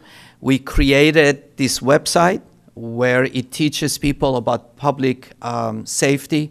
If you haven't had train operation in your town for a long time, there are generations who've never seen the train. Our generation was grown with train, but the younger generation don't know that. Uh, and they continued um, driving or walking and riding their bike the way they are. So that was a big, big challenge for us. Uh, we go to every single elementary and junior high and high school, and we have sessions one on one. We show them films how to be what we call track smart. Total cost of the project, including the phase we are doing today, which is connecting us to Larkspur, is about 533 million. As you can see on this pie chart, about 78% was our money, and the rest we were able to get from state, federal. Is the capital cost? This is everything, correct? Capital cost and everything up to opening day. Uh, freight service update. We have another government agency known as North Coast Rail Authority. They have easement on our tracks to run freight, and they have hired a freight operator, very much like what you have done. And right now, uh, there is a Senate bill that has passed the Senate and is in the Assembly called Senate Bill 1029. And Senator McGuire is proposing to get rid of the North Coast Railroad Authority and transfer all of their freight duties to SMART and also preserve 150 miles way beyond our limit for a trail that they want to build. His vision is to have a trail system from Golden Gate Bridge for 300 miles north. Um, and as I said, it has passed through the Senate and it's going through the committees, um, not a single opposition so far on the Assembly side. Um, what is it that we're going to do next is, as I mentioned, we are building our next connection to Larkspur that gives us a ferry connection to San Francisco. Our business community are very, very excited about the ability of people who are coming from San Francisco and don't want to drive on 101 parking lot is to take the ferry and then to take the train. Um, the business community sees tremendous amount of um, growth. That should open by end of next year. Um, the next one is going north is Windsor, happens to be Deb's town. Uh, That project is 55 million. We finished CEQA. The design is 20% done. And we just received, within the last two months, a 21 million from State of California SB1 money and 40 million from the Regional Measure 3. So this is now fully funded, and uh, we are beginning the preliminary design and hope to finish that as well. Then we have um, two more to go, Healdsburg and Cloverdale. And those, we finished environmental, we finished the 20% engineering. And then one of the interesting things is if you are familiar with Marin and Sonoma, um, Highway 37, a state highway, connects Marin and Sonoma going east-west to Highway 80. And it is another parking lot. State of California and the rail plan, they approached us and they said, we want you to look into putting rail. We already have freight going there as a passenger service. And um, I met with the Secretary of Transportation. He and his deputy, their vision is connecting communities throughout the state on a state rail plan with, um, uh, with rail. And they asked if we could do this, and I said, of course. Can I see some money to do that? And they just gave us money, and we're going to start that planning. So they're very, very serious about doing this, and they put their money where their mouth is. They're not just requiring you, they have you do it. Um, lessons learned in, in later on. I, am speaking on behalf of Deb and I, I'll be happy to come back, spend many hours with you on a long workshop, and share with you some of the lessons we learned on the governance model, funding options, planning, and environmental, the lessons learned that we would have done different during our EIR, during our planning process, share with you engineering and capital programs, why we were successful, when do you go out for bid, when do you manage this, when do you manage that, uh, the construction phase, how do you handle that, and then finally operation and testing. So we've learned a lot in that last six, seven years, and we want to um, we want to share all of that with you. I'll recommend that a number of workshops, but if you'd like to come up there and look at what we've built and spend a day and talk about this and meet other board members, I think it'd be terrific for you to get that feel of what we went through. So, Mr. Chairman, that's what it is. I just have a couple of more slides to kind of get you to think, because that's this is what I've added. So, so what? Okay, this is great. Thank you, Smart. You did a great job. What's in it for us? And that's what I start putting in. Is is our case applicable to you? So what I'm putting down is for us, Highway 101 is a parking lot we couldn't move, our emergency people couldn't move. It is simply um, a very, very bad situation for us. Those who were using buses and vanpool, they were stuck on the same highway than everybody else was. Um, that was our situation. The housing cost forced people to leave further, further, further away. And employers were having very hard time getting employees um, and typical commute hour was 60 to 90 minutes. So this was our life. Does this sound any familiar with you? Yeah. Is, you know, you replace 101 with 17 and 1, you're having the same issues. Um, for many years, our opposition uh, would want us to do nothing. For many years, our opposition would say the train to nowhere, um, it will never get built. They would say it will promote high density. It will change the character of the community. By the way, there has not been a single high density built uh, in the last seven years that we've been doing the train. Because strong land use by the local jurisdictions, just like yours, that's what controls, not us. Um, it will change the character of the community I'm sharing with you. And of course, SMART's going to cut thousands of trees and um, and it will not solve Highway 101 problem. They immediately wanted to know if I spend $100 million, how many lanes off 101, in your case 17, are you going to free up? They're using for those simple maths. Uh, it will cost more. Fares are too high. We haven't even established it yet, but they predicted that fares be too high. uh, the proposed tax, which was the quarter cent sales tax, that that discriminates. Um, no one will ride it anyway, so what is it you're just building? Your forecast is too high, and we did 18 ridership studies, just so you know. So if you really want to do a ridership study, I urge you ask George to call me first before you do 18 of them, because none of them agree with each other. Your opponents disagree with all of them. Your supporters will say they're low, and your opponents will say they're high. And then the real world is when you open your doors. Um, staff doesn't know what they're doing. The staff is getting paid too much. Uh, everything I'm just mentioning. And then my favorite is the fuzzy math. And to be honest with you, I've been reading some of your stuff, and the fuzzy math is right there. You know, 2 plus 2 is 17, but alternative doing nothing is great. Um, just letting you know. So we went through all of these, and again, uh, if any of these you're already hearing, I just want you to know it's there. Um, I want to share with you, we are looking at SMART as an option, not a silver bullet. There is no silver bullet. Um, in my 39 years of practicing as a civil engineer, we civil engineers can take you to the moon, but you, we cannot get you out of your congestion, congestion with a silver bullet. You need options. This is what our people learned. We need options. Uh, for us, train and the bicycle path are two options. That's all we're giving you. In addition to your car, your bus, your ferry, whatever other mode, we're giving you options.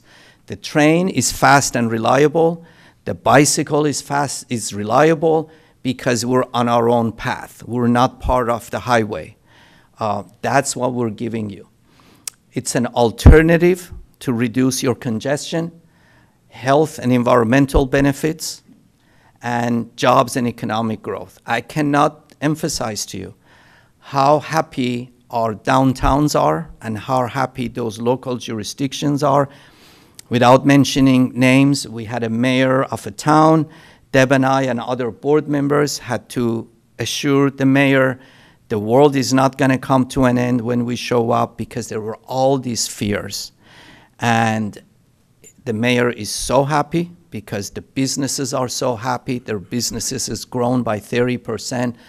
Going back to that number, 600,000 people, just think about this. This is our first year. We're still learning.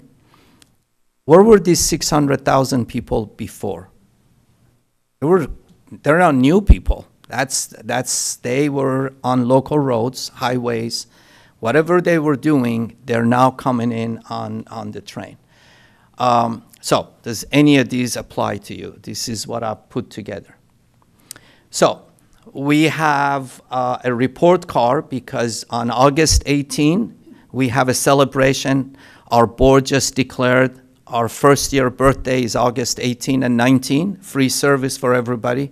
So it'll be a great time to visit us on Highway 18. On, on August 18, we have a big celebration, and our report card is as follow more than 650,000 people, passengers that we have carried, more than 58,000 bicycles. So we now have a core group of our commuters, about 10%, who are using the bike as their first and last mile. So it's not instead of or fighting, it is us together figuring out how to build more facilities for them on the train as well as off the train. And, oops, sorry and we've carried over 2,800 people using wheelchair. Those people are now telling us that they have a new way of going up and down and have independence. They now can get on a train, get off, go to a restaurant, and come back. We're getting a lot of good comments there. Um, the farebox recovery beyond our budget, our chief financial officer, she's very, very happy. I provide that report to our board every month. So on the money side, we're doing very good. And here is what I want to leave you with. Since 2011 that I arrived, because our board put local money and because we started building, we have brought in $157 million. And we just got another 40 million. From state and federal and, and regional. People will watch you, and if you're fighting among each other, I'm talking about us, nobody's interest was interested to help us. As soon as we started building and we started um, going forward, the state, regional, and the feds want to help you, especially they want to help you finish it. And that's what it has come. So once we started demonstrating, and you know, 157 million goes into that pie chart that you saw, and it will only get more and more. So that's really all the items I wanted to share with you. I'll be happy to answer any questions, and of course, the president of our board, but we wanted to give you a quick rundown of what is our world. So thank you for your time. We'd be happy to answer questions. Thank you very much.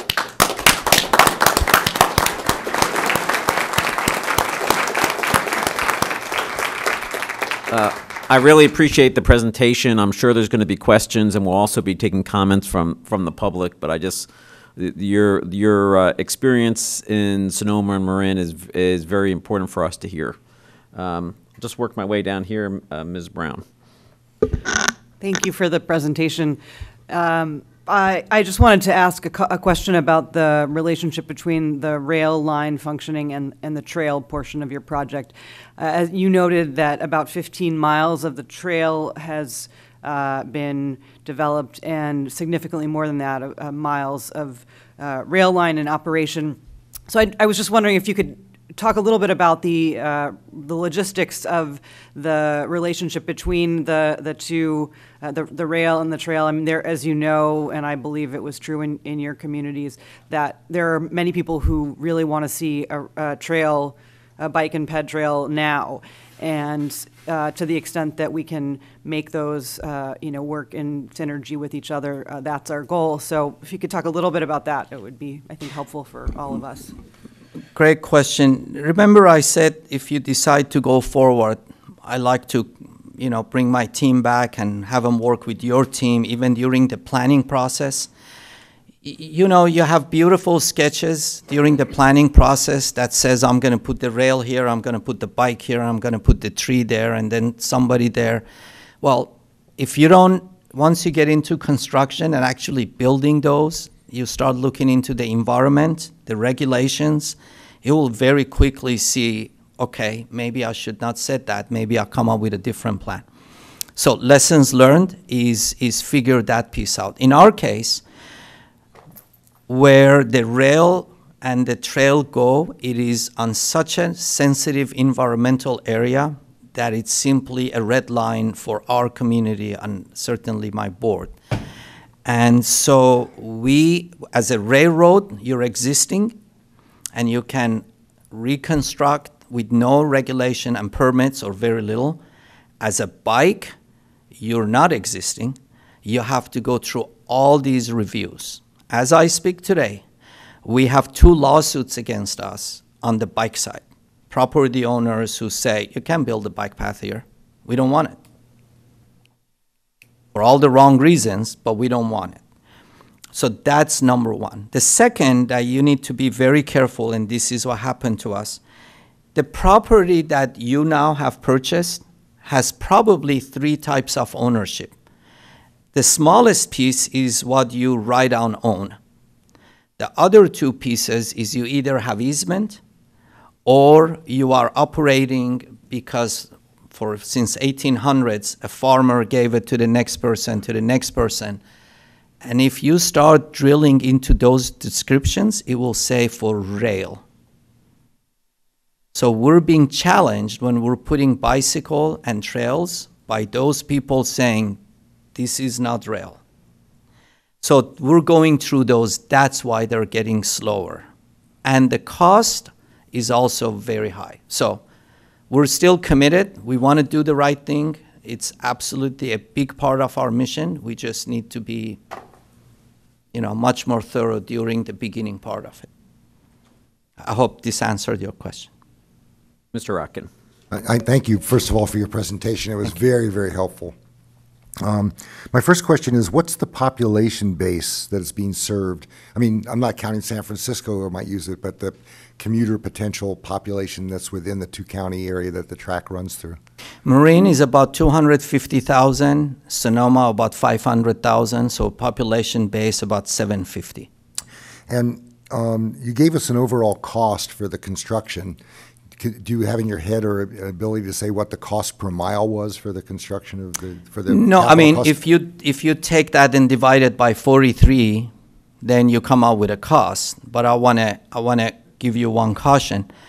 By doing that, please don't apply that to yours because people tend to do that. Here is why. Your environment might be harder or much easier. You might not have 40 some bridges. You might have more bridges. You might have less bridges. So be careful of that. That's why during planning process, having engineers who have built, not engineers who can just give you on paper, who have built rail, because that's when you have a lot of opportunities in doing cheaper construction. Um, the third item is the timing. You must spend, this is, if, if I was, you you know, your guy, I would be saying during good economic time, you want to do your environmental, your design, and get ready. And as soon as the economy turns, you start building. Two big reasons. You get much better prices and you put everybody back to work. And this is what we did. We put thousands of people back to work when there were no major projects going. So that timing becomes very critical. And of course, you get the biggest bang for your buck. So you've only been operating for a relatively small period of time now. What, do you know what your operating cost is actually per hour for running this service? Not per hour. Our entire operation is 17 million. Our entire agency budget is about 30 million. But the 30 million, most of it goes to paying off the bond for the construction that we did. But 17 million is our uh, operation cost. And in terms of the, um, the, the service, that, I'm trying to understand, um, you you had a lot, you started with local money, which has made the uh, state and the federal government interested in supporting you. What were the sources for your funding for the local? Quarter cent sales tax. That was it? That was the- Correct. So basically, what, what we told the community, we said, look at your congestion, look at your, op- this is an option. The message that we were giving is every time you spend hundred dollars, you're giving me twenty-five cents. Okay. That's, that, that's the quarter cent sales tax. Thank you so much. I really appreciate your presentation. Thank you, sir. Mr. Johnson. Thank you, Chair. So you mentioned, and I, and I would imagine during the campaign, you, a big part of it was congestion relief. And you've um, alluded to the fact that there's been significant congestion relief uh, on Highway 101 as these trains. How many cars before and after in terms of, of, of you know, morning and afternoon commutes? Um, what is the delta? What is the difference now that your train is running in terms of number of cars going down 101 and in the afternoon coming back? So I'm gonna, I'm not escaping your question, but I want to give you a different thinking because. Oh, I need it, believe me. No, the, the reason, the reason is, um, Highway 101 carries over 100,000 people. If you would look at, this is a day, if you would look at our 3,000 people ridership a day, and you would simply say 3,000 compared to 100,000, right? You don't even put a dent, even if you reduced 100,000. I'm doing a math exercise, but this is important for you to, to, to, to let me do. And you go to 97,000, and then you reach a conclusion that, well, that ain't gonna do any good. And then you add $500 million expense to that, and you say, this is absolutely no-go. So I want to give you a different, different way of looking at it. You spend $500 million, and it's a one-time money. You now have a system for 30 years plus. We carried 600,000 in the first year. Is that is that 300,000 each way? Yes, let's assume that. Right? So you, where did these 600,000 people do before? This is what I say in my debates. What were they doing before? These are not new workers. These are the same school children and the same people who going up and down. They used to be on lo- your local roads and your local highway. Now they're on a train. When I talk to the mayor of San Rafael and say, "Has your downtown changed? Is it like you see tens of thousands of people a day?" No. Except all those people who used to go on a single automobile, they now are on their bike or on you. So you start looking at it that way, the math makes a lot of sense, and the option gives you a lot of sense. So don't forget, we look at the bike path and the train as two options, not two silver bullets. No, I understand that. We will never, we will never carry enough people that will change a difference to 100,000 per day on Highway 101. We just won't. But even in your report, you talk about congestion relief. It's not real. Um, How is it not real? Where were these 600,000 before? Okay, where, where the 600,000 before? I'm talking about the eff- efficacy in relationship to the dollars that are invested in something like this. So you're talking about 600,000 million dollars, plus you have an operating expense of what, 17 million? Then when you start talking about uh, uh, fare box recovery, what is the percentage of fare box recovery? In other words, how much has to be subsidized by taxes or, or the taxpayer? Um, I mean, you said it exceeded expectations, but the, it's what fair revenue divided by the operating expenses, right? So I give you all the answers. These are very good questions, but I want to, uh, if I if I can show you, if that's where you want to go, you can build anything. Your highway doesn't make sense. Your highway system is subsidized every single day. Your local road is subsidized every single day. Public transit is subsidized every single day. Our money comes from the quarter cent that our taxpayers are giving us. That's what they're giving us, about 30 million a year. We use that, we bond it, we used it for capital, and now we're using it for operation. That's what the citizens decided to do. 25 cents every time they spend 100. There is no other subsidy. That's what it is. Every time you go to a gas pump, you're paying about 40 cents of tax. And that's how you're subsidizing for local roads and highways. So that math, if you, as I said, if you want to look at it, then take the 600,000 multiple by 30 years and compare that cost to the one-time cost of building a system that gives you options. And then we also looked at, is there an option of doing nothing? Is that what the citizens want? And they said, no, we want you to do something. Well, widening the freeway in the environment we are, we didn't want to do that because they're very critical, environmental sensitive area. If you had all the money in the world, would you divide, did you add four more lanes to Highway 1 and 17? Is that feasible? I don't know. But that, those are what we went through. So our constituents are very happy. We got 70% of the vote. And all I can report to you is they're asking for more, not less. Uh, One last question, and and forgive me, you know, you did bring in the kind of political uh, option with respect to what we're doing here in Santa Cruz County, so I, so I have to be, ask a few tough questions. So in our packet today, um, Progressive Railroading, it talks about the agencies tackle first and last mile challenges. And embedded in there, it says ridership, and I don't know exactly, this is in LA. Ridership, uh, rail ridership has grown as the agency has opened new lines. It's primarily bus service that has, dec- excuse me, that has declined. Help me understand a little bit, is there a ratio between the number of, of um, trips per day on the rail versus, has there been a decline in the number of, of metro and bus uh, ridership? Not that I know. The way we look at it, there are three type of services. Golden Gate Bridge provides regional service. People who are going from Sonoma County to San Francisco. We don't go to San Francisco. That hasn't changed. Then we have local city buses, which they're circulating around the city. We don't provide that service. We don't have people who get on here and go one station. I mean, we do, but as a whole, we don't.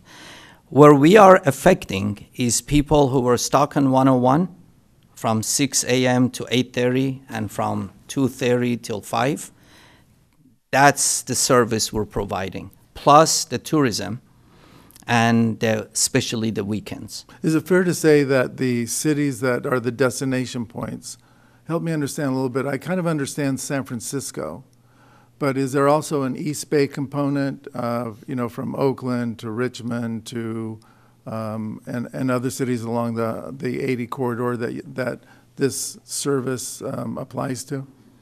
This service provides a parallel service to the Highway 101 spine, gets you there fast if your schedule works. Not everybody takes the train because it doesn't go everywhere and the schedule doesn't work for you. So that's that. It, for those that it does, it provides a faster and more reliable service. We have a small number of our workforce that goes to San Francisco or East Bay. I don't know about your demographic here. In Marin and Sonoma, almost 75% of our traffic is generated inside the county. They're going from one workplace to the next workplace, back to the next workplace. So we're not like BART that is crossing many different counties. We are providing those internal circulations an option to get there faster. It's the Sonoma folks working in Marin, it's the Marin folks working in Sonoma. That is what it's really serving the most. One last uh, point, I don't want to dominate here, but one last point. Would it affect your reasoning in any way that if you knew that most of the people who travel on Highway 1 during the morning, 61% of them don't go into Santa Cruz, Capitola, Soquel, they go over the hill to, uh, to San Jose or Scotts Valley or, or Highway 17. Do you see where, on the one hand, you have like a, from point A to point B, it's pretty straight, but here you have people that in no way would ever use a train because they're being diverted to San Jose. How would that affect your reasoning in terms of the uh, efficiency of a, of, a, of a train in Santa Cruz I'm County? seeing my Santa Cruz expert coming up to take that question up. We have something in common. I've been on the city council for 22 years, Oh, and, I have wa- you? and I've been mayor six times. so, Okay, there you go. There, I have a counterpart.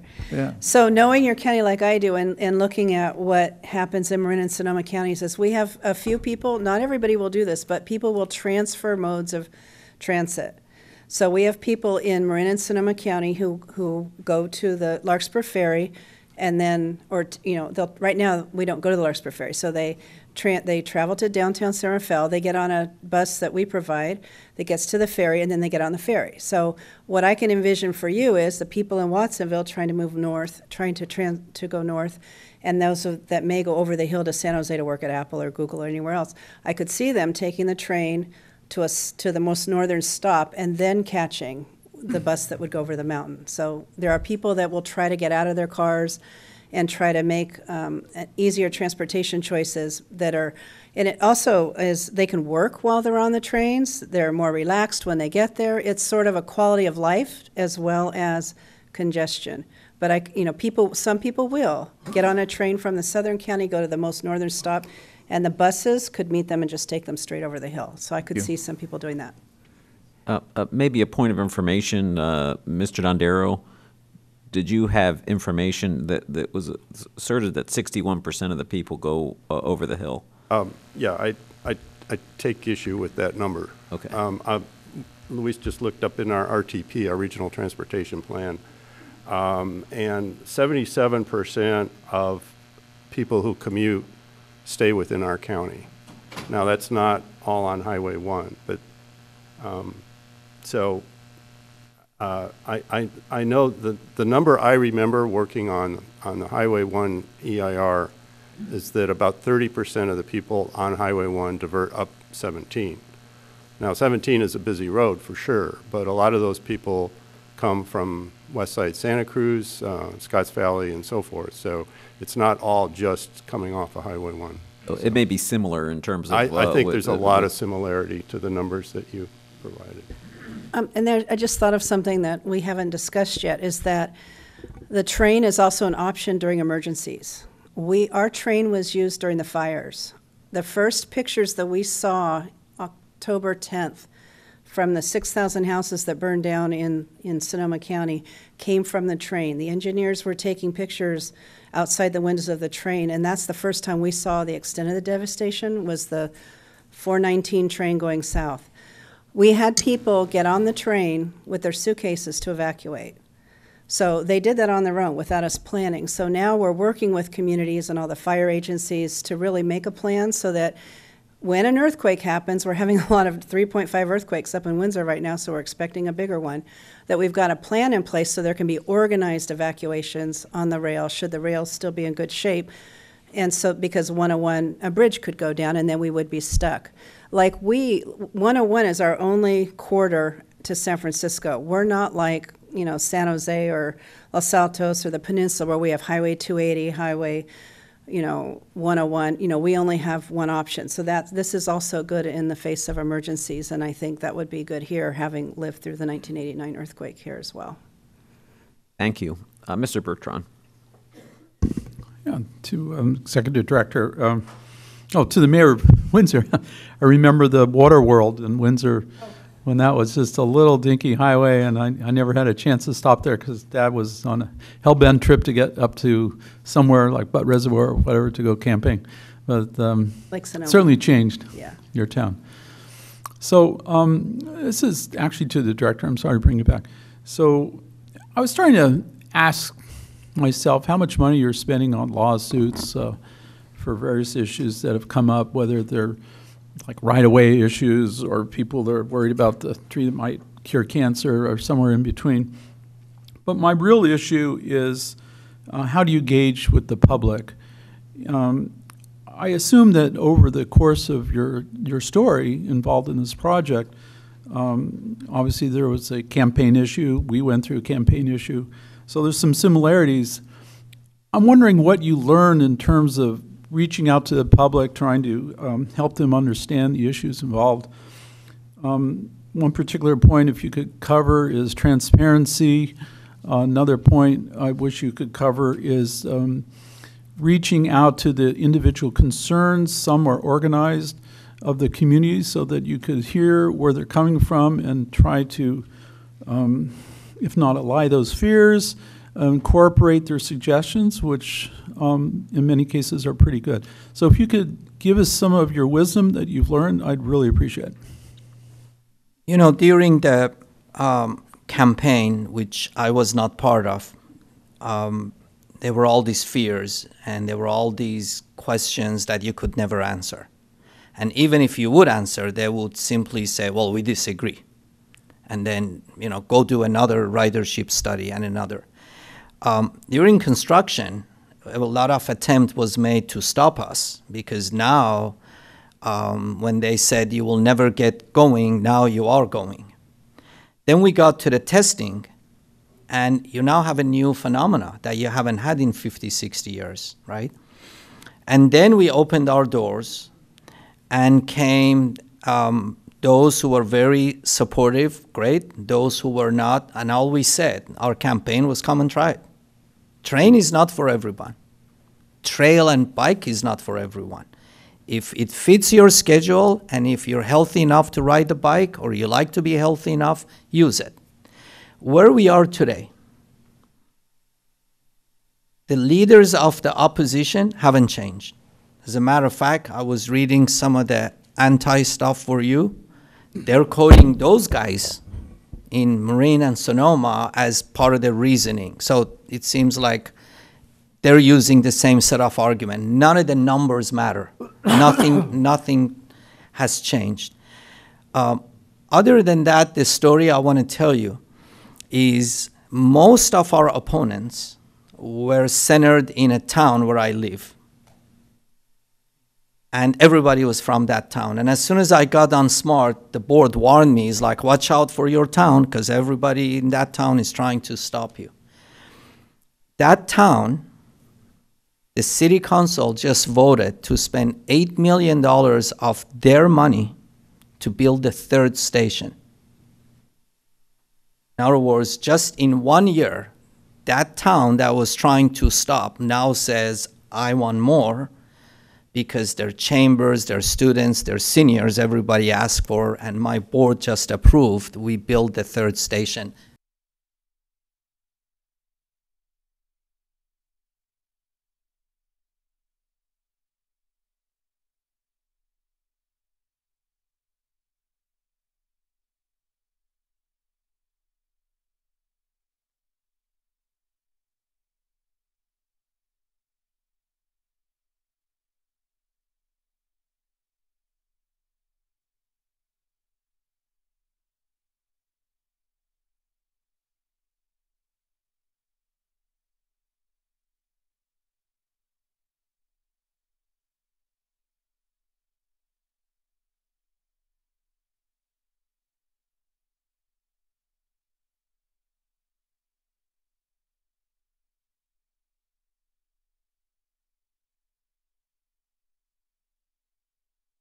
Constantly learning.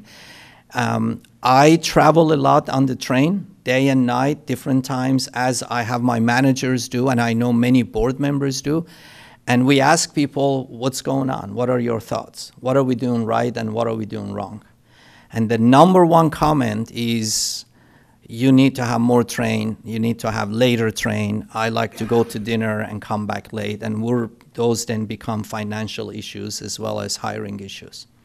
So you never stop communicating, it's only the beginning. And their input is absolutely crucial for our success.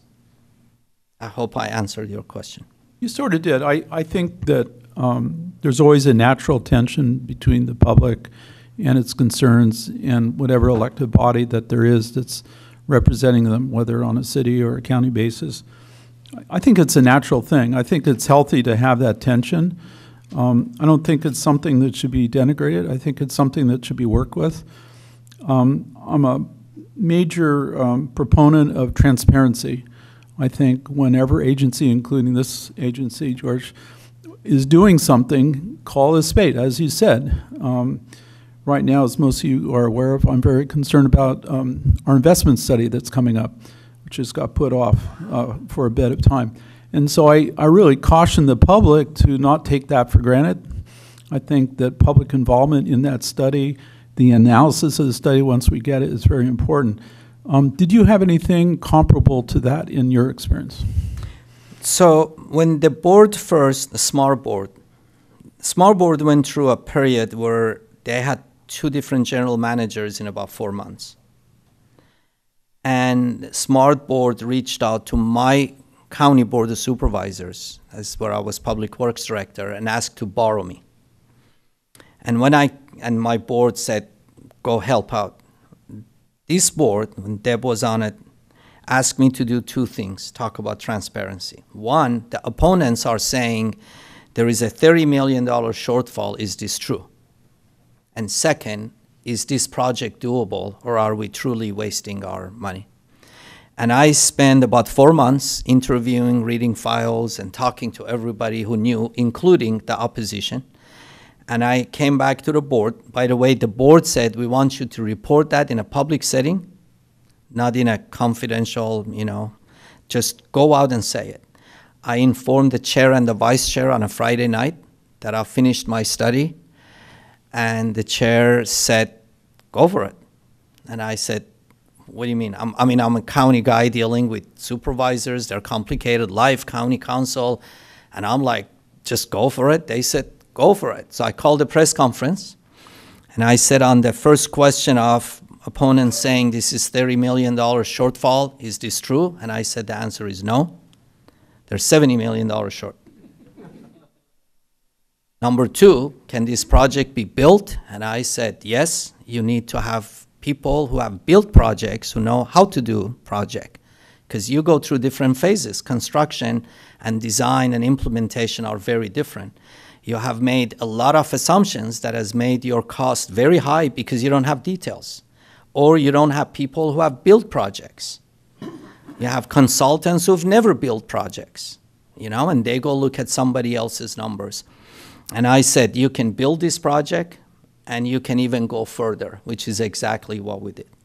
So that's how we started with our transparency. On our website, all the financial information is there. I require one of the things that we we did. I require our CFO to have a financial report at every month, and a quarterly project report, and everything is posted on the same day on our website.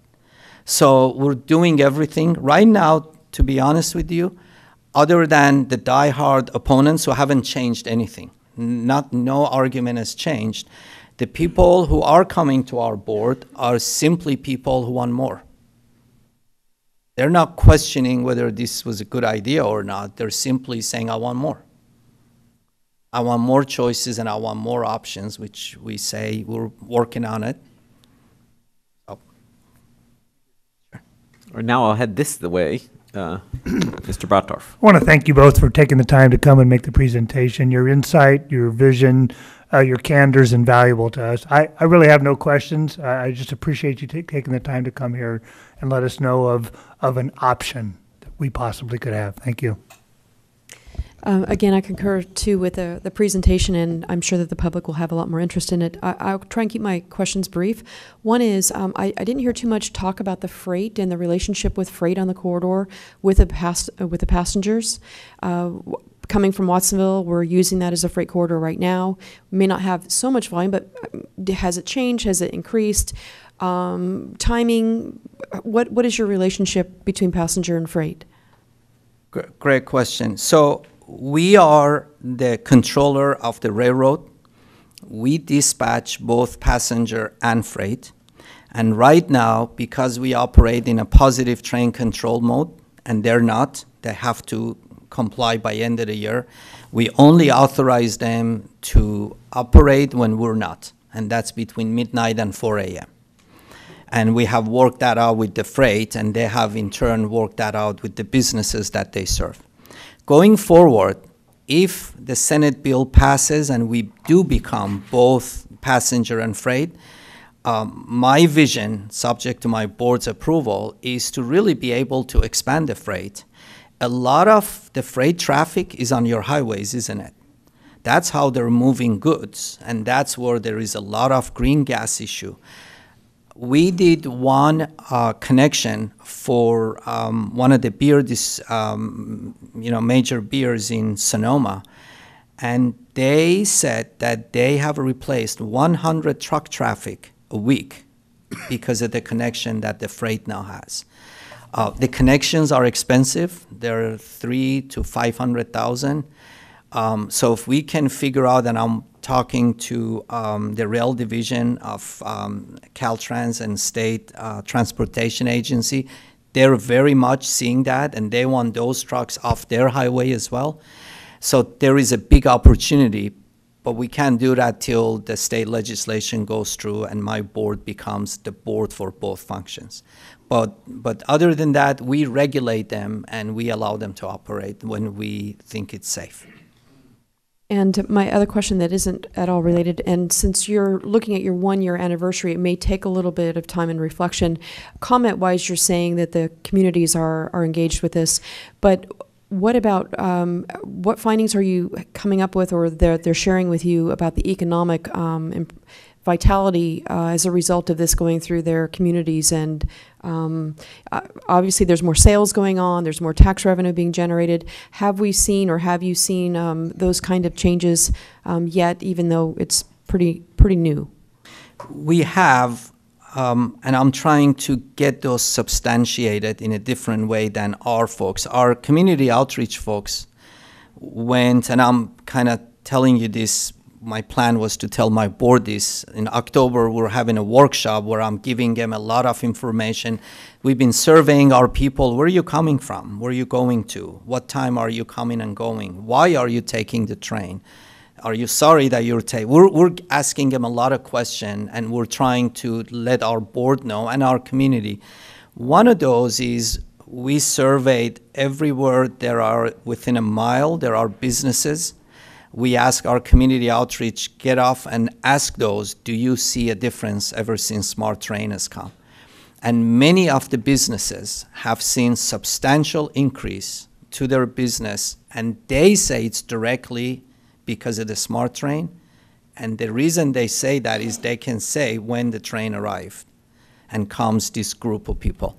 But I'm trying to substantiate that beyond he said, she said, and see how we can put that together. So, Thank you. Ms. Johnson, any questions? Mr. Caput?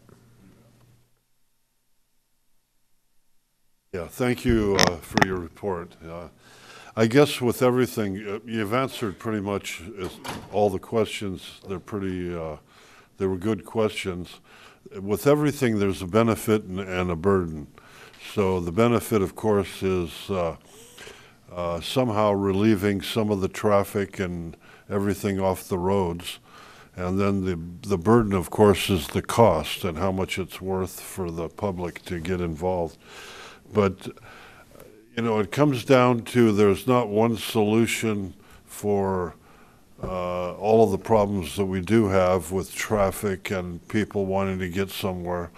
Um, even even widening and adding lanes and everything to the freeway is only going to benefit so many people and so many. It takes so many, you know, uh, some of that burden off.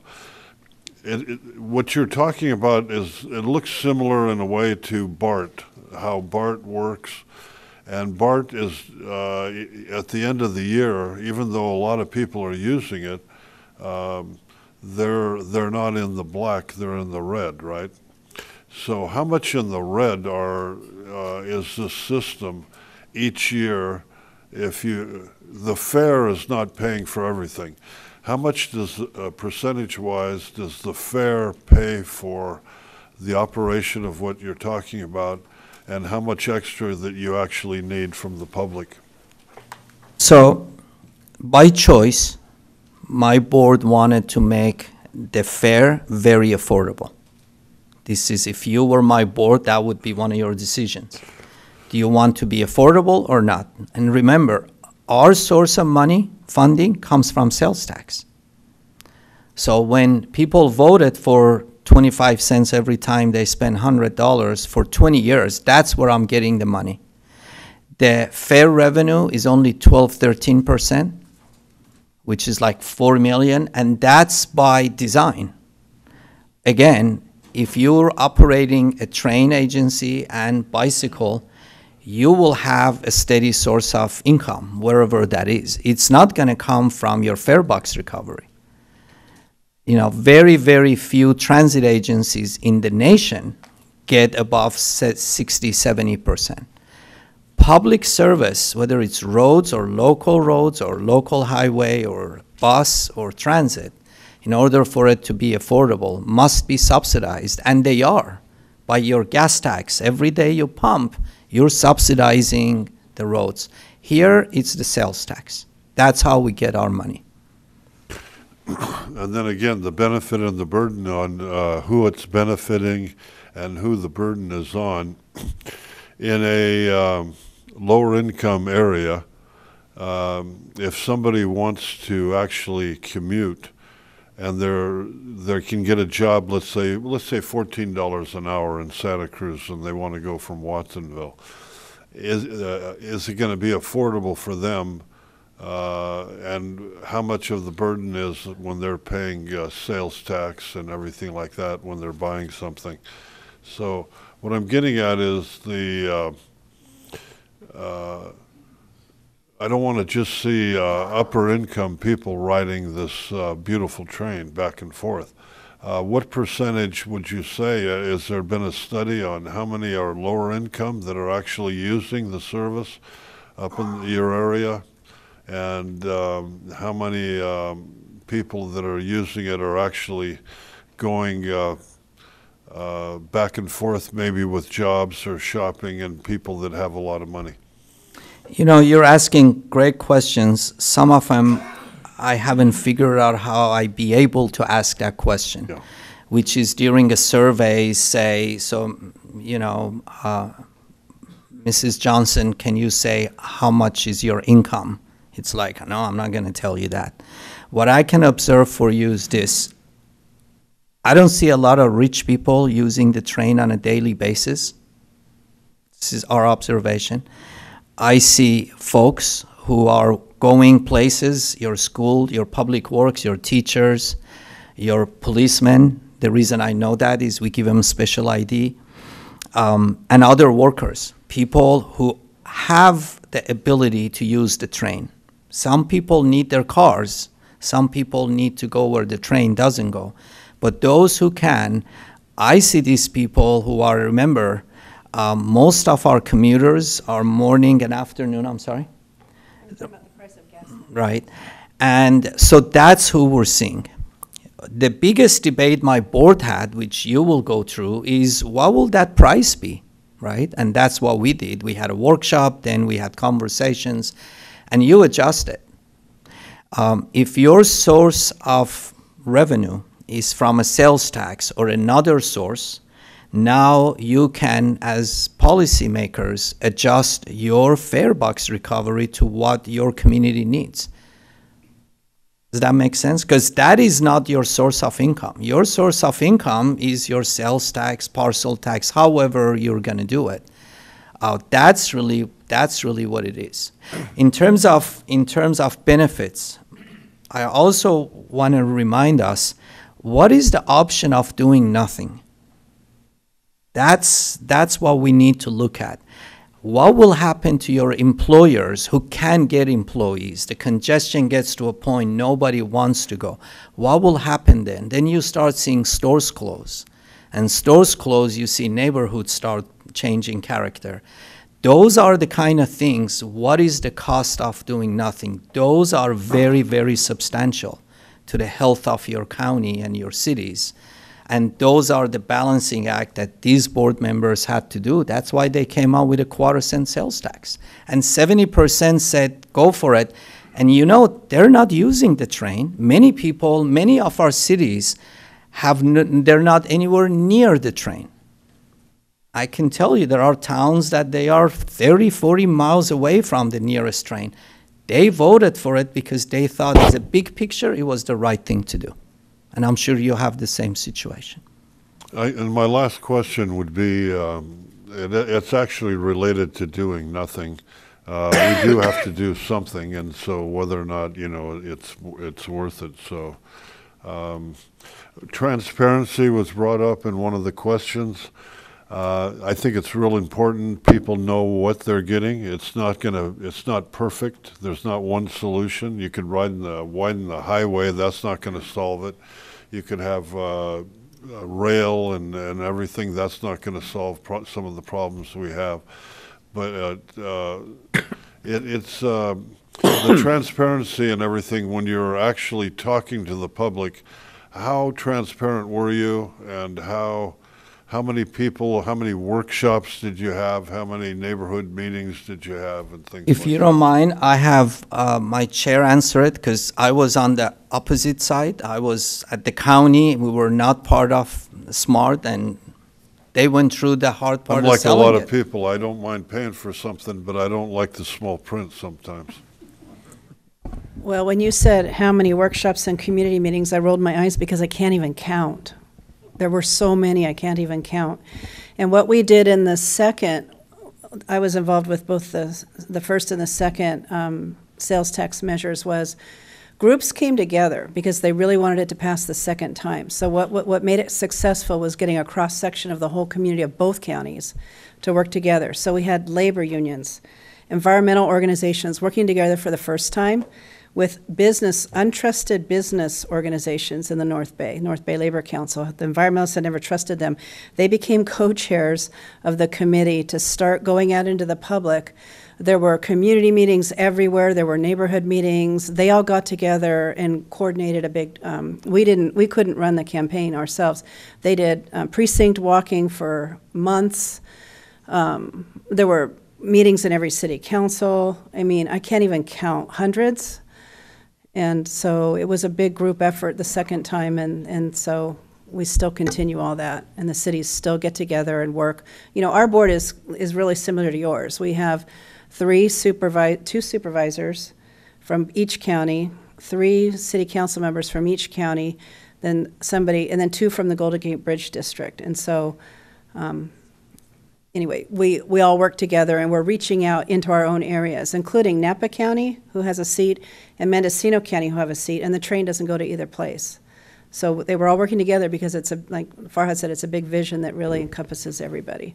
But I couldn't even count the number of meetings and, and that we did. Um, I'll just have a couple questions. I appreciate your remarks about uh, uh, uh, reaching out and building a big coalition. We found here in Santa Cruz that when we actually all work together, we can accomplish a lot of our transportation uh, goals or uh, and build the political support to be able to pass funding measures. Um, uh, I wonder if you could uh, say something about quiet zones. Uh, in the past, here in Santa Cruz, when there's been uh, excursion service, um, there's been loud horns and and um, been very disruptive to the community, and it still gets talked about every time. What do you do about that in uh, in on Smart?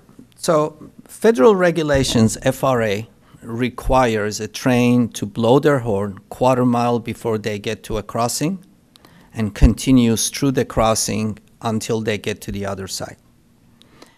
Local agencies, cities and counties, can go through a process whereby adding additional safety measures, meaning more gates, berm, and other things that FRA and California Public Utilities Commission in a field meeting with you will dictate. By adding those features at your grade crossings, then the train will be required not to blow their horn, with an exception of emergencies. In Marin County, we have entire county is quiet zone. In Sonoma County, almost 80 some percent of the county is quiet zone. The parts that are not was really a bureaucratic mess that whoever did the paperwork and the application left this one out and we're now cleaning up. And so for us, we have quiet zone. You need to address that during your early design stage and you need to reach an agreement with your jurisdictions about liability and about the cost. In our case, we spend $10 million of smart money to make all of our 63 grade crossings quiet zone ready. I took a policy to my board and said, you either can wait till we go operational, have everybody scream at us then, and go back and reconstruct, or we can assume they're going to scream, and let's assume they're going to ask for quiet zone sometime in the future, and therefore let's do it at the beginning, get it over with. Their direction to me was get it over with, and that's what we built. So those are some of those items that during your preliminary you need to address. Um, one of the other, uh, I thank you for the an- answer. Uh, one of the other uh, questions that often gets raised here as we think about a trail next to the rail line is uh, safety and aesthetics. Um, that we're going to have uh, some ugly fencing or you know some kind of fencing that that'll be that'll ruin uh, our coastal communities. Um, and there's a question of who would want to ride uh, next to when a train's coming by. Um, what? How do you separate the the um, the train uh, and the uh, and the trail? And do you have bike riders on on the trail that you have? Yes, we have tremendous amount of bike riders. We separate them where we have room, as much as 15 feet. The reason we put a fence is to prevent um, people who are not a biker or a train and simply want to trespass, um, and also um, children. So the fence is a security fence. Uh, if you put the right fence and the right color, you won't even see it a week later because it blends in. Um, if you're, you know, federal regulations and your own safety regulation, you don't want, remember, when you're building a bike path, you're not building it for this professional person who knows what they're doing. That bike path also can have Johnny, the seven year old, who's in her first week of bike and is using that. So you have to have safety measures. And that distance is what we use. so when we have 15 feet, when we don't, as many feet as we can. But separate, we separate them by a fence for safety reasons, of both. And I think I saw some pictures in your presentation that, that they're like 42 inches high or something. Correct. And uh, they did seem to blend in, at least when I was uh, looking at them. Um, the uh, you've now been at this for a while. Uh, we've been talking about it for a number of years. How have, what, what do you see about the funding? Do you see changes in funding that have taken place at the state level or the federal level? When we started, state had no money to give us. They had the traditional STIP that you all go through, and it's so little, and you, by the time you divide it between your cities and county, you know, you as an MPO get ten dollars to figure out what to do. Thanks to SB one, uh, state now frankly has more money than federal government. Right now, we're not doing well with the federal government. We're the wrong state and the wrong Bay Area and all the wrong projects. Although I have to kiss up to Washington D.C. because we got 21 million, so I am officially kissing up. um, but the fact is, state of California right now has tremendous amount of money and they are very good at distributing it. The current Secretary of Transportation, um, I'm sure Kelly knows this, but he's just on the Caltrans side, but on the rail side and everything else side, they're really stepping up and helping you. They won't step up and help you when you're fighting. They will step up and help you when you have a plan and commitment to do something. And more united front, the more opportunity. I brought the secretary. Um, he came with his entire entourage, and they looked at our operation facility. And he said, "How long did it take you from beginning to end?" And I said, "48 months." And they said, "That's the kind of project we want to put money in." So the the future is bright. Now there is a gas tax repeal, as you know that it's going on. I think Californians are much smarter than falling for that because for the first time we now have $5 billion a year that our Secretary of Transportation can spend on us, on our infrastructure. And the money is protected. In June, we passed Proposition 69, Nine. correct? Yeah. Which protects that money and cannot go anywhere else. So um, state and federal through your congressional, your senator, assembly member, start getting them involved, and you'll see they tell you, fine, show us a united front. That has been the success story for us. Um, uh, the last question I'll ask is, uh, uh, the, you know, you have very impressive numbers for your first year of operation. Uh, how has the fires affected that ridership? Huge, Um, huge. We lost 6,000 homes, and they were the type of homes that were the type of riders that we were carrying. They were the school teachers and the firefighters and the government employees. There were no high-end homes. Uh, There were some, but and our ridership was going steadily up when we opened from August, October 10th, big dive, two weeks. Um, the whole county was burning. Some of our stations we couldn't operate because there were no water or PG&E, which my board declared free service during that time, and we were just moving people. And it has now bounced back, and it has gone beyond when we started. So I think the 600,000, we took a big jolt. I don't want to jinx it, but I think next year it'll be much higher. And as we're adding more service, and as we go to Larkspur. And those- those houses get rebuilt. Correct. Well, uh, I think uh, Mr. Rotkin had a, had a follow-up question. I just want to thank you for uh, the, your comments. So this is a quick question, but you mentioned that you're, I understand that fare recovery is not the way you run a system, any public transport, any, in fact, even private transportation system. But you, you say you have 12 to 13 percent is your recovery rate. The transit district board that I serve on, we get, in most transit districts around the country, between 19 and 24 percent. Have you found problems with funders?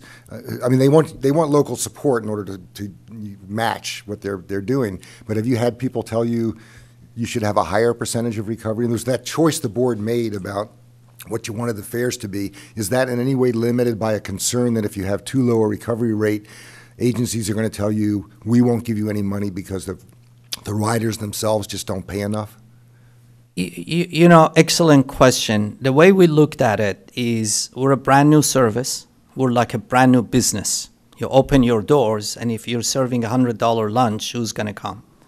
My board wanted to make sure that people come and try us and then feel like, yeah, I can do this. So that was number one. Number two, we have a lot of people who are workers who are going long distances. And when you do zone, we didn't want them to pay twenty, thirty dollars round trip. It just, you know, the board, you know, they're all local. They have their feeling on what is happening. Um, so it was my task to deal with those agencies, and I continue having those arguments. So I think for next 10 years, I'm going to say we're brand new, so we're still trying to figure out, because we want to keep, frankly, I, my board wants to keep the rates low because we're already getting paid sales tax. You know what So the- they're already paying that. Now, you know, if you ask me, I think they should be free.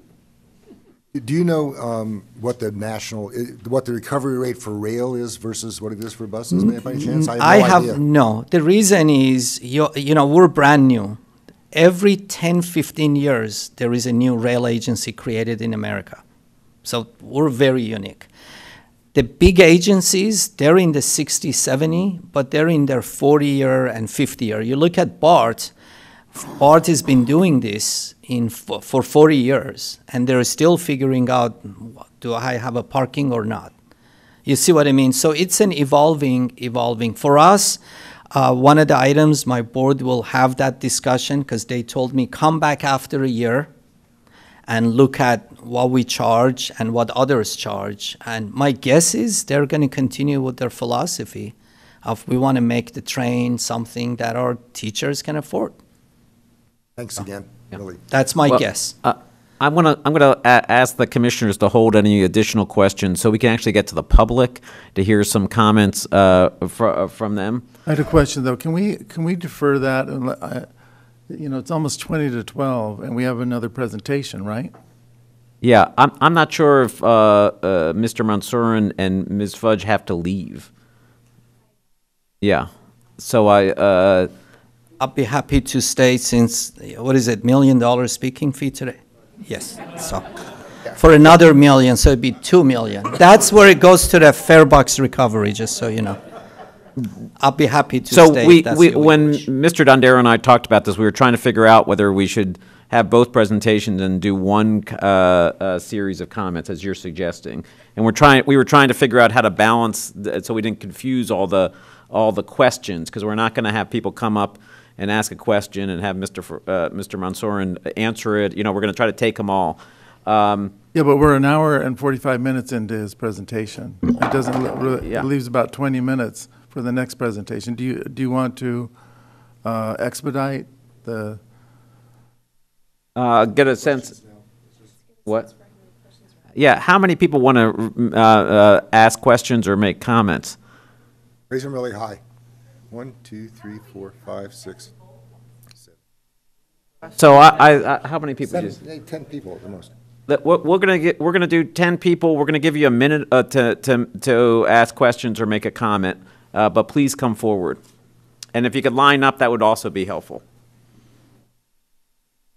It actually was seven I counted, but I assume there's three. Hi. not- Yeah. I'm Yeah. Stanley Sokolow again. I just have a quick co- observation, back of the envelope kind of calculation for Mr. Caput. I, I haven't looked at it in a long time, but the IRS has a figure how much you can deduct for, op- for trips you take in your car, you know, for medical trips or whatever, uh, which, last time I looked at it, was a little over 50 cents a mile. So if you do a quick calculation, 20 miles commute from Watsonville to Santa Cruz, 50 cents a mile. 54 cents. It's 54 now. Okay, let's just say 50. So that's about $10 a trip. Make it a round trip, it's $20 a day, five days a week, it's $100 a week. So for a month, it's, they're 4.3 weeks in a month. So that's uh, $430 a month for operating your car to commute during work. Uh, The smart monthly pass was only $200. So it's way cheaper. So for the low-income people, they're better off, even though it sounds like it's an expensive fare. Nancy Bilasich, Watsonville City Council. I just want to say this gives me hope. I am I was so ecstatic to hear this. I didn't know if I was going to be able to make it here. I'm glad I did, and I think they've done an excellent job, and we have hope for the future. This is a great plan, and it's something we can implement here. We'll have to figure it out, but we can do it. Thank you. Yeah. And I would just want to recognize that there have been five uh, council members here, at least that I've count- counted. So, or, uh, so that's very impressive that Watsonville cares so much about this. Thank you. Hello, I'm Greg Becker from south of La Selva. Uh, thank you, Mr. Mansourian, for coming down. My question to you is how have you reacted to the LBG, uh, LPG tank cars uh, adjacent to your tracks, and if SB 1029 will mitigate that? Thank you.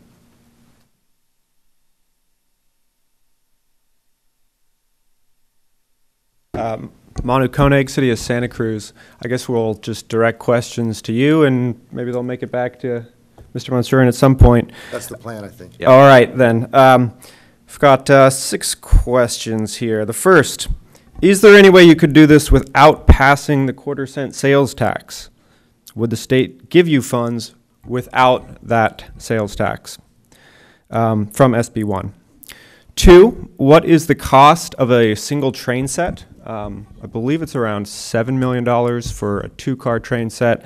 I was uh, based on some numbers on Wikipedia. Um, but so the cost of a single train set and then the capacity of that train set. Uh, Commissioner Rotkin was good to point out the cost of an electric bus, so I'd like to know the comparable for the train set. Uh, three, uh, what is the max capacity of the entire system? Um, we hear that there's uh, great demand for increased capacity, later hours. Um, given that it's a s- um, single track with four, s- was that all me? Yeah, we're only given a minute. Oh, got it. Um, and could you do this with 30% of the population? Thanks. Good morning. Good morning. Steve Trujillo, candidate for Nancy's seat, actually, uh, running for city council. The important part of all this is if you want to get newcomers, new customers, new clients, you have to keep the price down. Remember, uh, survey came out, KSBW just mentioned, Santa Cruz, second greatest county, the second, second worst county for poverty in California after LA County. We also have to recognize that no, most people in Watsonville aren't rich. Marin County has a lot more money than we do. Nonetheless, we need to do we need to pass the quarter cent sales tax and we need to do something similar to this because widening Highway 1 is not an option. And we need both rail and trail to start the Ra- Watsonville Renaissance. Thank you. Good morning. Good morning, Mark Mesiti Miller, Santa Cruz. I just have a few quick questions for Farhad. Uh, what is the average length, miles traveled, a rider travels on SMART? Number two, have you met or exceeded your goals for ridership and for revenue? Uh, you, you know, you've painted a pretty rosy picture. What, what are the three biggest, most common complaints SMART receives? And, you know, are there other ways to fund train systems than sales taxes? Thank you. Robert Stevens, Aptos, and I wanted to say I've, I've thoroughly enjoyed hearing about SMART. I'm a big supporter of trains, but I think you have to use the right tool and the right application, and I'm not sure our county population warrants this. And the one question I have is, I believe your ridership per train is about 88 people if you divide 3,000 by 34, and I just want to verify that that's correct, about 88 people per train. I just would like to go back to the um, thing that we opened with. I think it's appropriate that this series began with um, Jarrett Walker, who put that lens on this about freedom and opportunity. And my question is we did hear about the smart train being comfortable for those who can afford to ride it. Certainly, if you can afford a cup of coffee, a beer, a glass of wine, it's lovely. I've been on it. It's a great ride, but it's helping a very small um, portion of the population. I'd like to know what the demographics of that population is beyond kind of the hypothetical stories we heard this morning, and I don't know that those answers are here today. But I would like to know how this train in Santa Cruz County would create new freedom and opportunity for the people who need it most. Because quite honestly, it doesn't sound like it would. And while a big infrastructure project is something that a public agency really likes, and while building a train may employ people for a certain amount of time, if it's not a long term solution, it's really not where we should be thinking. Thank you. Michael St. Aptos, a quick question that came up last night. Um, which ba- way do you think was best? Uh, you guys have taken on the whole operation of this as a, basically an RTC type situation. Or is it better the way we br- we're doing it, bringing in an operator as uh, Progressive Rail? Thank you. Uh, just another question. If you were a kid working at the boardwalk and you lived in Watsonville, would you rather pay two bucks to get on the metro to get up to work, or would you rather pay uh, 23 bucks or whatever number that they're talking about? Good morning again, Lowell Hurst, Mayor of Watsonville.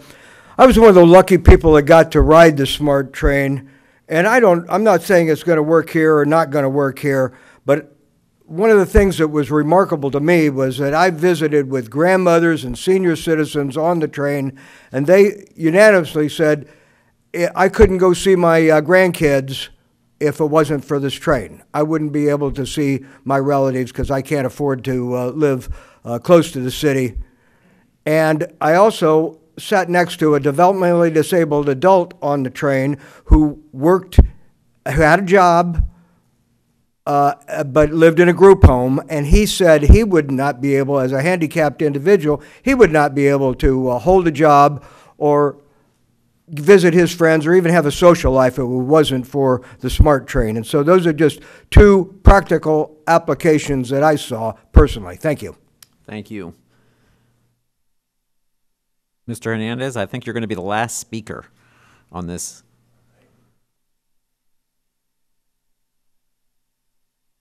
We only have one minute. I prepared seven minutes of, just kidding. The person sitting next to you will, will appreciate the other six. you know, there's a, you know, every time I uh, talk to folks here in Watsonville, you know, they tell me that they work in Santa Cruz and different areas in Capitola, a lot of young people. You know, was mentioned before about Santa Cruz Beach Boardwalk. I got two nieces that actually work there from different sides of the family that actually work there, and I just sold one of them my old car so that they can get to work from Watsonville to the boardwalk. It's one more car that's going to be added on the freeway. Um, I've talked to different workers from different places, like Santa Cruz Nutritionals, that they say about 60% of their workforce is from Watsonville. Uh, women that worked in the canneries here before in Districts 1 and 2. Uh, people that work in the county buildings, both Ocean Street, Emeline, a lot of employees here in Watsonville from UC Santa Cruz. You see about 20 vans, Dominican Hospital, and not to mention every single restaurant that's in Santa Cruz. The majority of the people that work as busboys, dishwashers, line cooks are predominantly from Watsonville, Mm-mm. and every hotel as well. Thank not you. to mention 2,000 cars less greenhouse gas. Thank you. Thank you. Sorry to cut you off. Um, so uh, I appreciate the comments. Uh, we're gonna we, we want to move on to our next presentation.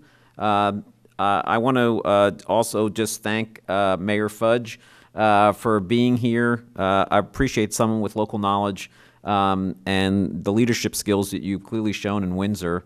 Um, have been a strong advocate for this, and and hearing your perspective even briefly here is is helpful. You and I have had a chance to talk before, um, and enjoy the rest of your stay here in Santa Cruz. John, could we ask the, the, the questions, since they're, we'll have them on tape, could, could we have them answered possibly on our website so the people who asked those questions, I mean, there were a couple of very concrete and specific questions as opposed to comments. We'll figure out at the end of the meeting how we're going to answer the questions. Okay. All right, if, if, if that works out. Um, we do have a we do have a second presentation uh, today, uh, which is uh, from the city manager of Kirkland, Washington, uh, Kirk Triplett, uh, Mr. Dondero. Yes, um, I'll keep this very brief. Um, Mr. Triplett's going to talk to you about the Cross Kirkland Corridor, or CKC, um, and has an interim trail, uh, which is a 10-foot wide, 5.75 mile uh, crushed gravel trail that runs um, from the South Kirkland Park and ride through the Totem Lake Business District. And um, I'm going to let I'm going to let Kirk do the rest. I, I know he's, he's, he's well prepared. We talked earlier this morning, so I'm not going to take up any more of his time. Thank you. Good morning. I need to press.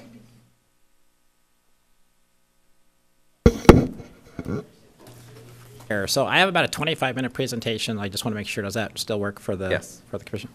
Um, Wonderful opportunity to be here and watch. I just want to say, I want to compliment everybody's passion because it really comes from a commitment to making a better community. So whatever side of the issues you are on, everyone is really trying to make their community a better place. It's neat for me to come down and see all that.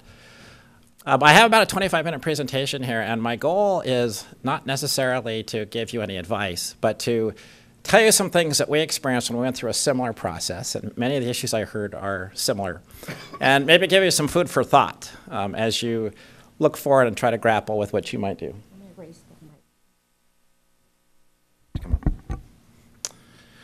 So, starting off, this was actually a grand opening of the interim trail. It happened in January of 2015, and it was when the Seahawks were their third consecutive year after they'd been to two Super Bowls. And just after we opened it, they lost to Carolina Panthers. But it did create a lot of fun people in Seahawks uniforms when we, when we cut the opening. Um, what I want to do is give a very brief uh, history of the Cross Kirkland corridor. Um, one issue I didn't see a lot as I had a chance to look at your website was the issue of economic development, which I know got raised. And so I want to talk about how that has played out in a way we had no idea would happen when we opened up our corridor. I want to talk about some of the connections we were able to create with our interim trail strategy. I want to talk about our tangle over transit. We had a huge fight that didn't go well for our community on transit. And then I want to share with you some things I think might help as you seek ways to really create community and not conflict as you look to the future of your corridor. Um, I also had a handout that I just gave everybody. There's some there as well that has a lot more information. Um, in the transparency issue, this was actually a handout we made in 2015. And I kept it here because you can see it has a light rail train featured front and center. And our story has evolved considerably, but I want to show we started off with this idea that we wanted rail on our corridor. And I think like the uh, armadillo's dead in the middle of the road, I'm sort of halfway between everything here. There's probably a lot in this presentation that everyone will be unhappy with. So, Welcome to our world. Yes. Uh, so our corridor is, is somewhat unique. It's also a, a rail corridor. Um, it's actually a rail banked corridor. It's actually owned by quite a few different entities, and you can actually see the breakout up here. It's about 41 miles. Uh, the top northern 12 miles are actually ac- active freight operation. Uh, the rest of it is now being converted in various ways to different trails. Uh, you can see the Kirkland piece is that light green piece, 5.75 miles, sort of in the center of what we call the main line. Uh, this was actually purchased in 2009 from Burlington Northern by a, a coalition of governments. And you can actually see me when I had hair in that photo. At that time, I was actually the interim county executive, and I was part of the group that actually bought this corridor. The original partners, you can see there, that purchased the corridor, right after we bought the corridor, the Port of Seattle purchased the corridor from Burlington Northern, and the goal was they bought it for $82 million. Everyone else was supposed to pay them back. And not really caused effect, but shortly after was no longer the interim executive, which was a choice I made. I didn't want to continue to be the executive. When the new executive was elected, they took the $26 million that the county had set aside and used it to buy a gravel pit. So after that, the Cascade Water Alliance also pulled out. So the port found itself in this very interesting spot of about $40 million of the promised money from several of the jurisdictions was no longer there. So they went to everyone and said, Who wants to buy a piece of the corridor? so um, I had fortunately moved from the county at that time to become Kirkland City Manager, and I went to my council and said, We have to buy this corridor. And one of the things I want to compliment this body on is the fact that you got it. I spend a lot of time telling groups if you have a chance to buy a rail corridor, buy it. Even if you don't know what you want to do with it, you got to buy it. So just tremendous compliments to you that you have it, you're planning for it, um, you're already way ahead of the game. But as you can see, for Kirkland, this goes north-south through our entire city. It was an old abandoned railroad track, and it's next to just about everything. Schools, businesses, uh, the community, access to the waterfront, and the track at the time really cut the city in half. It was really a canyon. It was wonderful to follow SMART because SMART was actually our, our inspiration when we started. Hey, people are thinking about transit and trails. And we used this visual multiple times. And this is actually from one of my 2012 presentations. So I wanted to sort of be fair that this was what we started showing people when we first started talking about trail and transit. But the two things I really want to emphasize were the vision statements we came up with Kirkland, which was the first was that planning or implementing one mode, whether it be trail or transit, should not foreclose future use by another mode. And that was really critical to our decision to do an interim trail. So when we took out the tracks, we knew that if something like SMART had to be built, those tracks were no good anyway. They would have had to have been replaced, which is what you saw in the presentation he had. But we also had a lot of people who said, pave it, pave it right now. And we said, yeah, once you do that, it's really hard to bring something else back on. So we chose not to pave it, but we did choose to take out the tracks. Um, and what you can also see, though, is one of the key things was this was going to be one of the ways we connected our community to the region, both in transit and bike peds. So this is just a, a very brief history, and the two key ones are we bought the corridor in 2011 for $5.2 million. That was our section. And we opened it in January of 2015. And you can just see the sort of the evolution as we took out the tracks and put in the interim trail. So what happened next is a really uh, wonderful story because it has really truly transformed our community and brought economic development on a scale that we never imagined when we first bought the corridor. Uh, this is the one slide I'm going to spend a little bit of time on and the rest go fairly quickly. But when I was hired as a city manager, as well, those of you who have city managers know, you go to your bosses and you say, what do you want me to do? And they said, we have this old dilapidated mall up in the north. You have to revitalize it. And we have this little company called Google that's just getting started, and they have a headquarters here, about a thousand people. You got to keep them here, and if you can figure out how to get them to expand, you should do that too. So those are my two tasks. Had nothing to do with the corridor.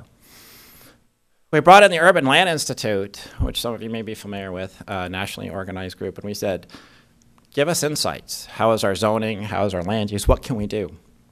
And they went and they toured the mall, and you can see on the top there we have a lake, and we had where the corridor was. And they said, wow, what you really need to do is you really need to turn that lake into a park, and you need to buy this corridor thing, and you need to open it up as a trail. And if you do that, you're going to catalyze economic growth and housing and uh, walkability. When I met with the Google executives and said, what do you need to stay here? What was fascinating is they said, we want to park on the other side of that railroad track. That's all we want. We don't have enough parking for our place. And there was a big giant open space over there. And they said, and Burlington Northern won't let us drive across it. So we'd like you to buy that corner so we could drive, our employees could drive and park over on the other side of that. I was like, that's it? That's all you want? Yeah, that's all we want. So I had the Urban Land Institute and I had Google saying, hey, you should really think about this differently. You should think about this as an economic development tool, not just as a trail and transportation tool. And so when we did our master plan, we began to really incorporate that thinking. And one of our commissioners said, this corridor needs to be a place to go to, not just a place to go through. And I think that might be something you want to ponder as you get to your next steps. Like, how can you use this to actually create community and not just create transportation? Uh, we had four major goals, connect Kirkland, which is, of course, the transportation piece. And again, you can see light rail. It was in the very first master plan we had. Uh, but then we started talking about things like a greener Kirkland and greenhouse gas emissions and um, ways to make it the greenest corridor in America is what we decided we wanted to try for. And how do we activate it and evolve over time? How do we turn it into an economic development tool? And it worked. So this is actually Google Phase 2, the building you see on the lower left. We let them drive over and park, and they said, we like this space so much, we want to build a LEED platinum building for another 1,200 employees. Can we do that? Yeah, okay, we can let you do that. So not only did they do that, but what they actually said is, now this big space that we have between where those tracks used to be, could we just turn that into a park for you? because our employees really want to get out on this thing. And so we said as well, we have this master plan. If you're actually willing to implement the version of the master plan between the two buildings, we'll let you do that. So this aerial is taken from a drone. You can actually see where, I don't know if this has a pointer, uh, where you see that paved concrete is actually where the old railroad tracks used to be. So Google, on their own, came to us and invested $3 million to build uh, basically a linear park, and then they gave it to us because it was public land, so I wouldn't let them have the land. But and then they built a uh, bridge across it that connects the two buildings. At the same time, what we did is we said, can we think differently about our, our land use planning around the corridor? And we came up with what we called trail oriented development. And so we actually revamped all of our um, development regulations and said we need to encourage things like wineries and uh, breweries and coffee roasteries or places where people can make things and then sell them. So, like glass blowing and those kinds of things. So, how do you help an industrial area convert from being a warehouse district to being something that's much more active? And we actually now have three breweries that have developed along the corridor, and people bike to them, spend a while, and then hopefully they get a different way home. But so far, we have had no incidents with the people uh, biking to the breweries. And this is that mall. This is the former mall. So after we actually developed a master plan for the park, I'm going to go back to that slide in a second. What we did is we actually took that uh, old park with the corridor and we did a master plan and we've invested about $9 million in developing this park. It's not finished yet, but it has a bridge that goes over the roads and links to the corridor. When we bought the corridor and we designed the park, we took that to the mall owners and we said, this is the public investment we're making will you guys match this? And they turned around and they actually sold this to a new developer, CenterCal. CenterCal came in with a complete re-envisioning of the whole community, and they've actually built that whole first building you see on the lower half, and they're almost finished with the second half. But there's going to be um, almost a thousand units. There's um, almost a hundred um, square feet of retail. There's about another 200,000 square feet of office. There's a, a uh, Cinema and all sorts of things going on there, and it's had all sorts of things now happening around it. We have almost 4,000 units developing around the mall because this is happening. And one of the key reasons it happened was because we bought the corridor and because we designed the park and showed them how they all worked together. Excuse me, when you say units, you mean housing units you're talking I'm sorry? These are housing units you're talking about? Yeah, when they're done, there'll be 850 housing units here. Um, the surrounding neighborhood's going to have about 4,000 when they're finished. And then our master plan tries to take this whole idea of transforming the community much further. Um, so we built into these, like, we haven't had a chance to actualize any of these yet, but in the final plan, like you saw in the Google segment, we're going to have eddies where people can stop and rest and work on laptops. Uh, we've already begun to use this for festivals. It's like a linear festival street. We have a group that does a Crossing Kirkland event every year where we have food trucks and stations and things, and so we're already getting people using it in a totally different way than just biking and walking. Uh, we have a vision of art. We've already had several wonderful murals that have been painted along the corridor, and we have people who want to bring in uh, ephemeral art, and we also have folks who want to bring in statues and things. So we're going to have a huge art component to this. We want to fill it with light so that's interesting both in the daytime and the nighttime, and we've put this already in a couple of our locations. And then when that whole greener corridor in America thing, we also want to use this to create urban water uh, system management. So stormwater management and also give people a way to interact with and touch the environment. So all of those things are things we're trying to build in that sort of help create that transformation, not just this idea that a corridor like this can only be a trail or a transit corridor. And so how has the interim uh, strategy worked? It's worked actually far beyond anything that we actually imagined. More people use this thing the second you take the tracks out than you can possibly imagine. So just a couple quick slides here that show the before and after when we, what we had when it was first tracks in 2012. Looks very similar to some of the things I saw in Santa Cruz. I had a chance to tour some of this last night. Uh, you can see we turned really dangerous intersections to much more safer pedestrian and bike crossings. Uh, part of our environmental commitment is all these are solar powered flashing beacons and all the pavement is pervious pavement. Uh, we had a whole host of logs and planks and things going across drainage ditches to get to the railroad tracks. We replaced those with true paths and little bridges. We had all kinds of communities coming to us saying, how can we connect to this thing? Because it used to be, it's either a big berm on the top or it's a big ditch down below. And so we created all kinds of little neighborhood grant programs. And we got work parties out and people built these things like these stairways with um, uh, ability to roll your bike up there. And so it's created an opportunity to access this spine through the corridor through the city of Kirkland that we didn't ever have before. And we have thousands of people using it now. Um, there's also amazing views on this corridor. The Kirkland kind of slopes down to the water, and because train tracks have to be flat, you know, there was a flat corridor all the way through, and so you have these great views over the tops of houses. Um, and before, when it was just a track, no one really got to use that. The only people who really got it were the houses above it. Now we have thousands of people who get that view as they go by it every day. And then a safety issue. we had lots of places that when it was track felt very unsafe. We had issues of homelessness and other challenges. Uh, this is a place we call the Highlands Pass. When we put in the interim trail and activated it, this actually became people's refuge. More and more people want to go to this section because it's just so pretty. And it's something that you don't really find in an urban area. It's like you feel like you're in the middle of nowhere. And people walk their bikes, they walk dogs. We have all sorts of multi generational use kids, grandparents. It's, it's been pretty extraordinary. So, so far, nothing but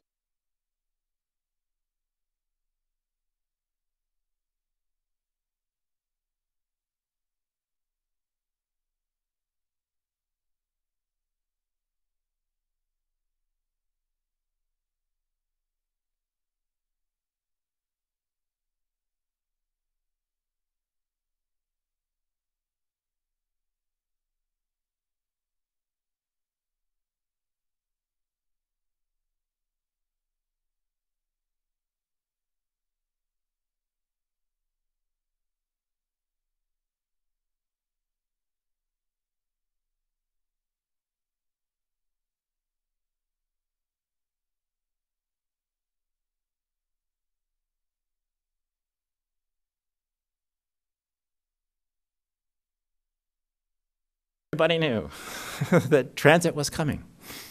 So what happened? Everything went to heck. it went to heck faster than you could possibly imagine. So we opened the corridor in January of 2015. This conversation started in January of 2016, a year later.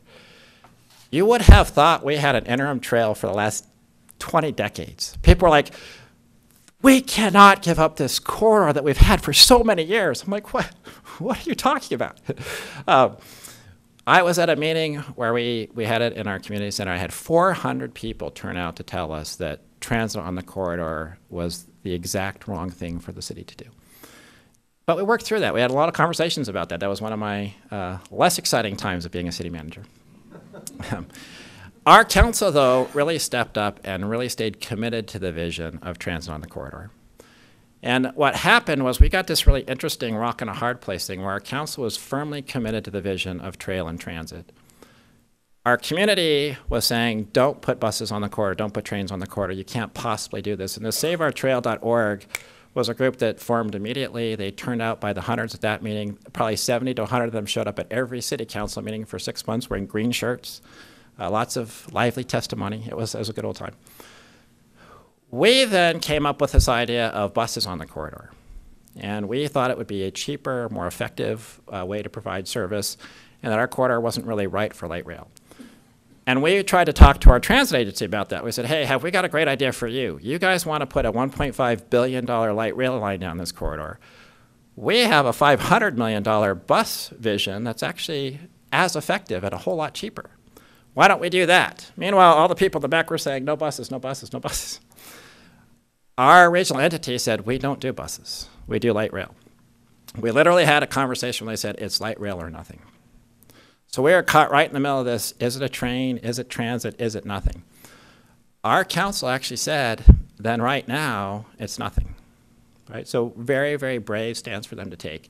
And what actually happened is that 2016 ballot measure did not include any investments of transit along the Cross Kirkland corridor. And I'll talk a little bit more about that in a bit about why I still think that's better for our community. But this was because we were in a mode battle. It was either light rail or nothing. It was tracks or nothing. And that's, I think, something that we have an opportunity to maybe share some lessons learned uh, with your community. So, what would those be? What if I could go back and do it all over again? what would I have done? Well, we really spent a lot of time afterward talking to people about outcomes. And you know, the terms opponents I heard a lot. You know, people come up and, and believe me, I've been on the other side of this. People get visceral, they get personal. It's um, it's disappointing on all sides when people choose to go that way. And if people can just set the outrage aside and you can have facilitated discussions with people to talk about what outcomes are you trying to achieve? What are you afraid of? What do you want to see? And so we worked through all that. And when we actually could get people to sit down and say, what are you afraid of about a train, right? So Sound Transit, again, being very transparent, you know, they have had accidents. And so people are saying the safety of having a light rail train coming through our suburban community is huge. Um, you saw that beautiful view section that I showed you. People didn't want to see 30 foot high catenary lines going all the way down the corridor.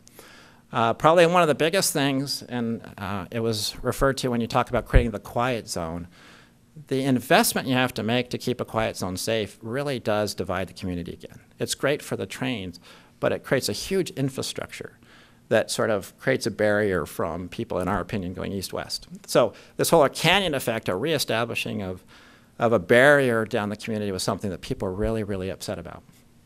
And when we talked to them about buses, all they could envision was you want to bring these buses from Asia that are going to blow black smoke and be really expensive and stink, and how would you do that? Why would you destroy our community with these horrible diesel buses? We're like, wow, I haven't seen a diesel bus like that in 20 years in, in the Pacific Northwest. But, but that's what really, we kept saying, great, this is good. Tell us, tell us, tell us. What is it? What is it? When we said, what do you want? You know, what is it that you would like to see? And transit kept coming back up. We want people to be able to commute on this corridor. Like, wow, that's not what you actually said three months ago. So, so transit started to reemerge, which was great when we had a chance to really talk with people. Uh, they wanted paved path, most importantly, and they wanted a shared path. They wanted, as they call them, the crazy bikers to have their own dedicated line over here, and they wanted the normal people to be, be able to be over here so they could bike with their kids or walk their dogs. And they said, if you're going to have buses, they better not make any noise and they better not have any emissions. So the shared outcomes we're able to develop through all this were, okay, we need a paved trail. It's got to be on a more human scale. We need an electric fleet. We need to have no rail um, in our particular segment. This all happened after the fact, and I'm, I'm sad about that because we probably would have been more successful if we had thought this through and, and had more of those facilitate discussions ahead of time. But I think we actually now have a plan to be united if a Sound Transit 4 ever happens. Um, and I'm also I've been tasked by my council to think of ways that we can implement some of these things on a much smaller scale locally. So, what would I do different? What are possible things for, for this community to think about? Constant communication. We didn't do enough of that. If I could have done this again, I would have had a billboard every 100 feet saying, transit is coming, transit is coming, transit is coming. When we opened the interim trail, we had an opportunity to do that, and we didn't because we thought everybody knew. It was just understood. And even two years later, you have the turnover in their population, or someone who never paid any attention, who now sees this wonderful interim trail that they're on, they can't even imagine where someone came up with the idea of transit, right? So, so I think if you pick something, what you want to do is just make sure that's clearly communicated in a way that can't be avoided, so that people can't come and say, I wasn't part of this, I didn't know. Um, and if we had done that, I think that would have changed the conversation dramatically. Uh, you have an opportunity that we didn't have, which is disruptive technology is emerging all over the place right now. And some of it was referred to in our previous conversation. But this whole idea of ACEs, which you guys are, are probably very familiar with, but the automated, connected, electric, and shared economies, they're going gangbusters. And they're just waiting for a corridor to be the first corridor that this happens on.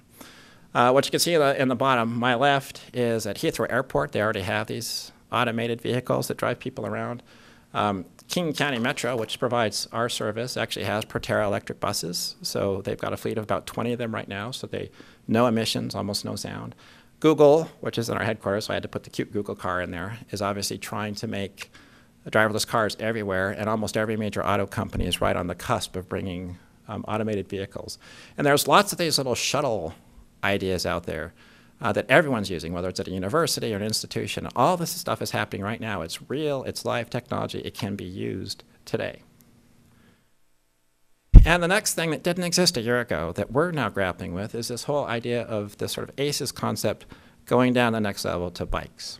So electric bikes, electric scooters, both for the shared economy, so a tourist can use it, or a person who just wants a one-off trip that day, they want to take it to the to catch on the bus, so they want to buy a commuter bike. They don't want to have to figure out how to put on Lycra. They don't want to have to fix a flat tire.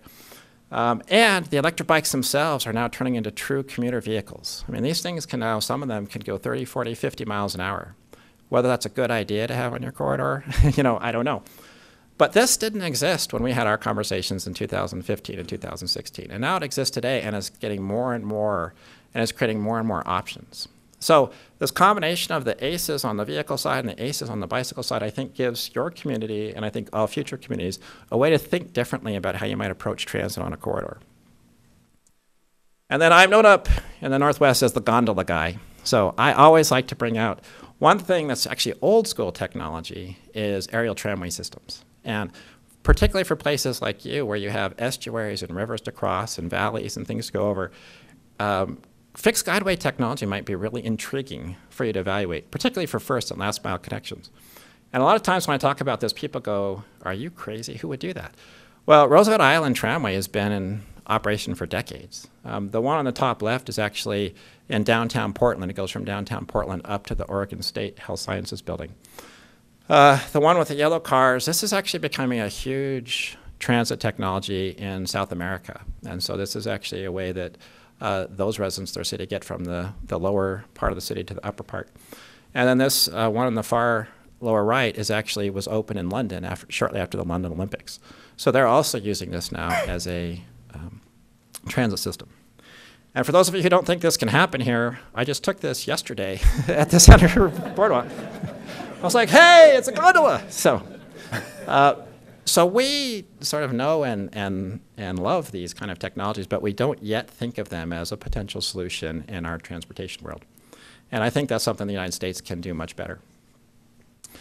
So my last section as I go in um, is sort of the whole role of pilots. And I like to put up this slide that um, a few good pilots can change the world. And I think that's really true, especially in the public sector. We don't do enough of this. And I think corridors like this are exactly the place to try things. And so there is so much out there to try. I gave you a few things to top, but one of my favorites is the Chinese straddle bus, which is in the middle. And if you Google Chinese straddle bus, you'll actually see a really cool video of this. And basically, what they were experimenting with is this idea of putting a bus over an entire lane of traffic. So it just sails over the traffic back and forth. Wow. Um, they have not built it yet, but it's pretty cool. It's pretty cool. Uh, the one on the bottom is the Cambridge Expressway, and they had a different way. They basically decided not to just pave over everything. And so the buses actually run in these little runnels. Um, but as I said, there's just a lot of stuff out there that's that's happening that if you took segments of your corridor, and I'm trying to do this in Kirkland as well, and said, could we experiment with a few of these things? Um, so when we go back to our, using my own corridor as an example, when we go back to our shared outcomes, and I take the light rail off and I say, what could I do with this transit platform? Right, there's my human scale, there's my separated, you know, this is the ultimate vision. But I could have a really great electric bus system. And I could put in an aerial tramway, which is actually what I'm trying to do, but uh, so far I've not been successful. Um, this is my vision of how you could actually use a straddle bus and go straight down the center, and you could actually just ride over all of the bike users. Could we do this? I don't know, but it doesn't seem like it's spatially impossible to do, right? Uh, so just maybe trying to think differently. And then because I started with the Seahawk thing, I got to end with the Seahawk thing. So in 2013, when the Seahawks won the Super Bowl, our quarterback um, had started his group and said, why not us this year? And it became a mantra that maybe some of you heard about. But, but many of the members of the team credited Russell Wilson saying, why not us again and again and again throughout the year as the reason they won the Super Bowl in 2013. And one of the things I'd like to leave with you, and I, and I apply this to my own staff all the time, is, you know, why not you? Why not us to be the first place that you actually try transit in a different way? I absolutely believe you have to have transit on this corridor. There's no question about it. I think if it was just a trail, I don't think that would be sufficient. And I think that would be a waste of a precious corridor. But I think, given the way things are changing, you have a really interesting opportunity to experiment that not many people do. And what you get out of the experimentation option is if you think about building rail in a different time scale, this is what we did. These current tracks have to come out in order to put something like SMART in. But when they have to go back in, it's totally up to you, right? So you might want to consider you take them out for a bit. You can have an interim trail that gets you immediate use, but you could run something on it. What is that thing? I don't know. That would be up to your community. And if that doesn't work, you can always put the tracks back. I know there's lots of discussions about could that really happen, but it really depends on the elected leadership at that time. So why not you? Why not us? That's what I'm trying for. And so uh, that's just a sort of a recap of everything I talked about, and I'm very happy to answer questions and give you any thoughts from the Northwest. But thank you so much for the opportunity to be here.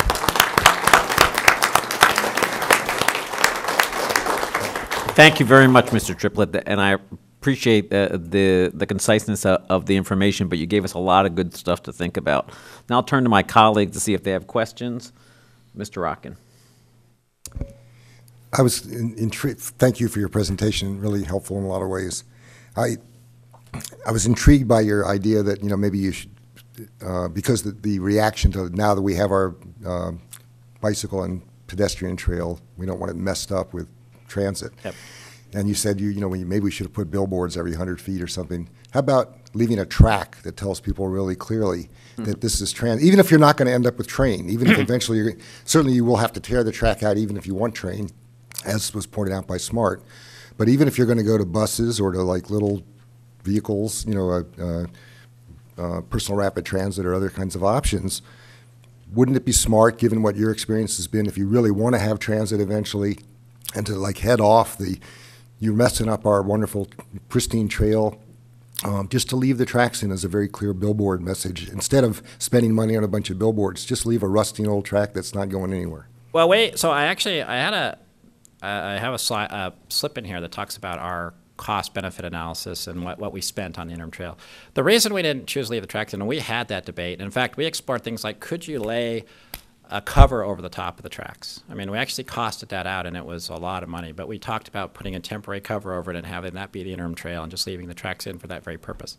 Um, you can't put the trail next to it very cheaply. The, the wonderful thing about the interim solution is it's cheap, it's cost effective, and it's quick. We did it really fast. And in fact, on the salvage parts of the ties and the rail, you actually make some money on the thing, right? So, so you can make an interim trail investment very quickly, and you don't have a lot of environmental hurdles to go through because you're not widening its footprint and you're not, you're not creating, uh, well, at least up in Washington, I don't know, it could be different here in California. But so that idea of quick and cheap access to the corridor was really important, and we couldn't figure out a way to leave the tracks in and actually have a safe interim trail that wasn't extraordinarily costly. So if we could have actually built the full trail next to it first, we might have considered that.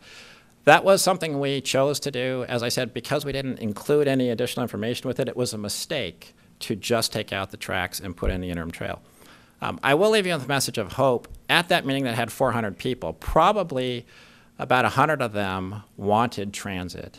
And in our follow-up conversations after the Sound Transit 3 ballot measure, um, everybody, even people who use the corridor, said, you know, now that we're thinking about it, this transit thing really does kind of make some idea. Can you think about ways to bring transit back? So if you can if you can get out of mode and get off of whether it's a train transit, but just transit, I think you can have a lot of success. But we did look at that and different parts of that corridor made different decisions. You know, we were just our piece. King County left the train in, the tracks in for that very reason. So they're just taking them out now, uh, five years later. Of course, it would depend on, it would depend on which there's huge disagreement about. I'm not going to try and settle in this comment. Right, But, you know, right. whether you have a- adequate width to, to build a trail with Right. all the tracks still there and so forth, which Right, people exactly. disagree about within in the county. And it varies community to community for sure. Thanks for that response. It's helpful. Uh, Mr. Johnson. Thank you, Chair. So, um, thanks for coming. It's, uh, to me, that was an excellent presentation, just from the standpoint that um, it embraces the future, and it also deals with possibility thinking that not, doesn't exclude anybody. You're open to transit, your people, your, your council, your community was that way. I believe Kirkland has about 90,000 people, Right. and it's next to Redmond and Correct, right. Part of the Seattle community, um, and you have a much uh, bigger population base. But what's interesting to me is that you saw within the, the timeframe of a year new um, things coming on the market, whether they were scooters, whether they were uh, uh, uh, uh, uh, e-bikes, and so forth. That uh, took a quantum leap in terms of ridership because now you can go 20 miles on a trail like this.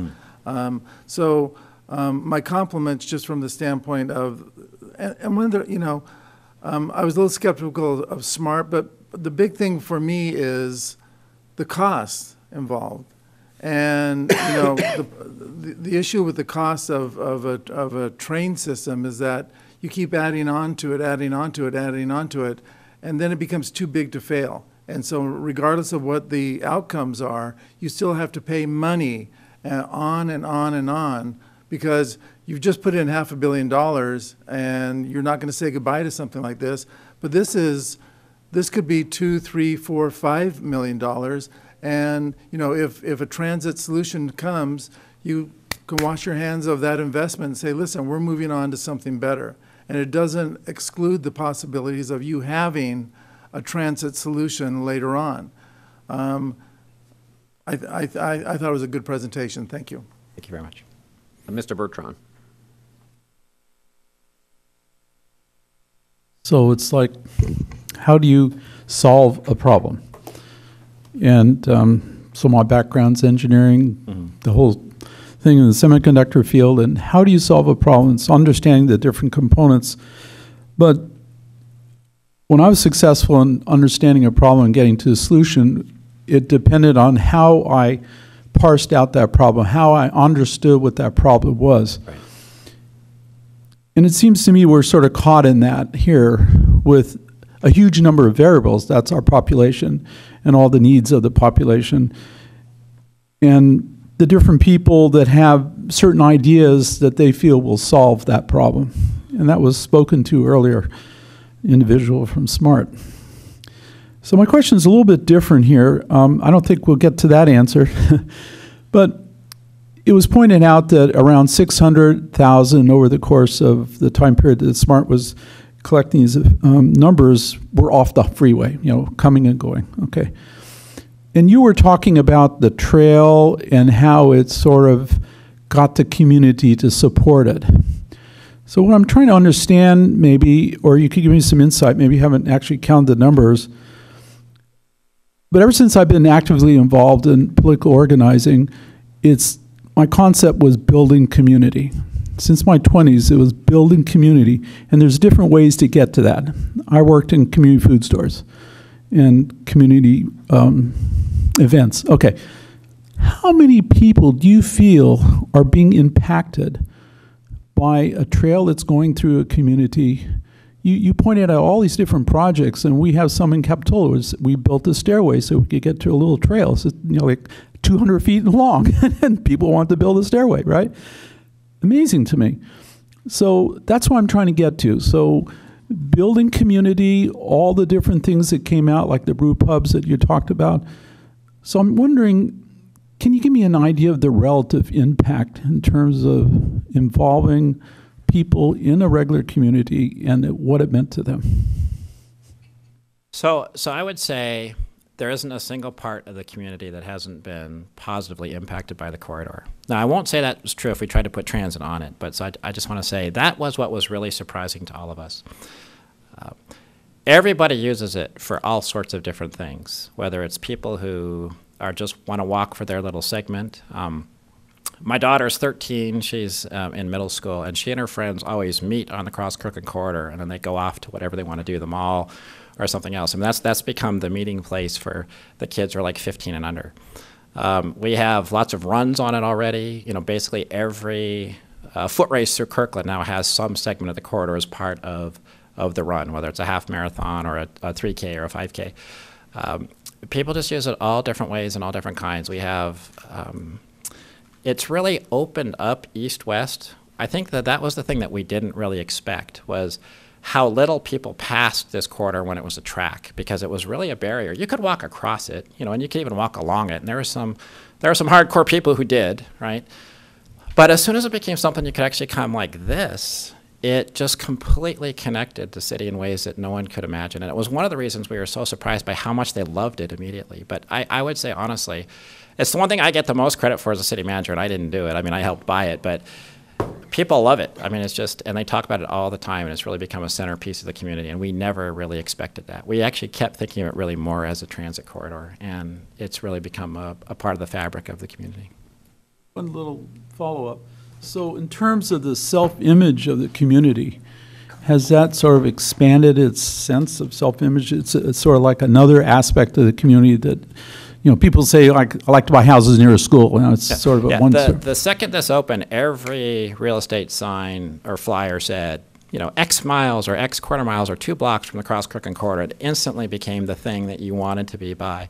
Wow. Um, Google, part of the reason Google wanted to develop their section was all their employees kept saying, we want to run on this thing at lunch. You know, so the, the thousand people were sitting right there. They wanted access to it immediately. It was just, oh, the, the other biggest thing is actually school walk routes. This actually connects to four schools that it actually takes them over um, individual streets because we have a viaduct similar, I mean, a, two bridges that are similar to some of the things that you ran into, and it suddenly got the kids off off the street. So it's become this huge school walk route. That is another thing that we didn't really expect. We talked about a little bit, but it, it happened to be much more successful than we thought.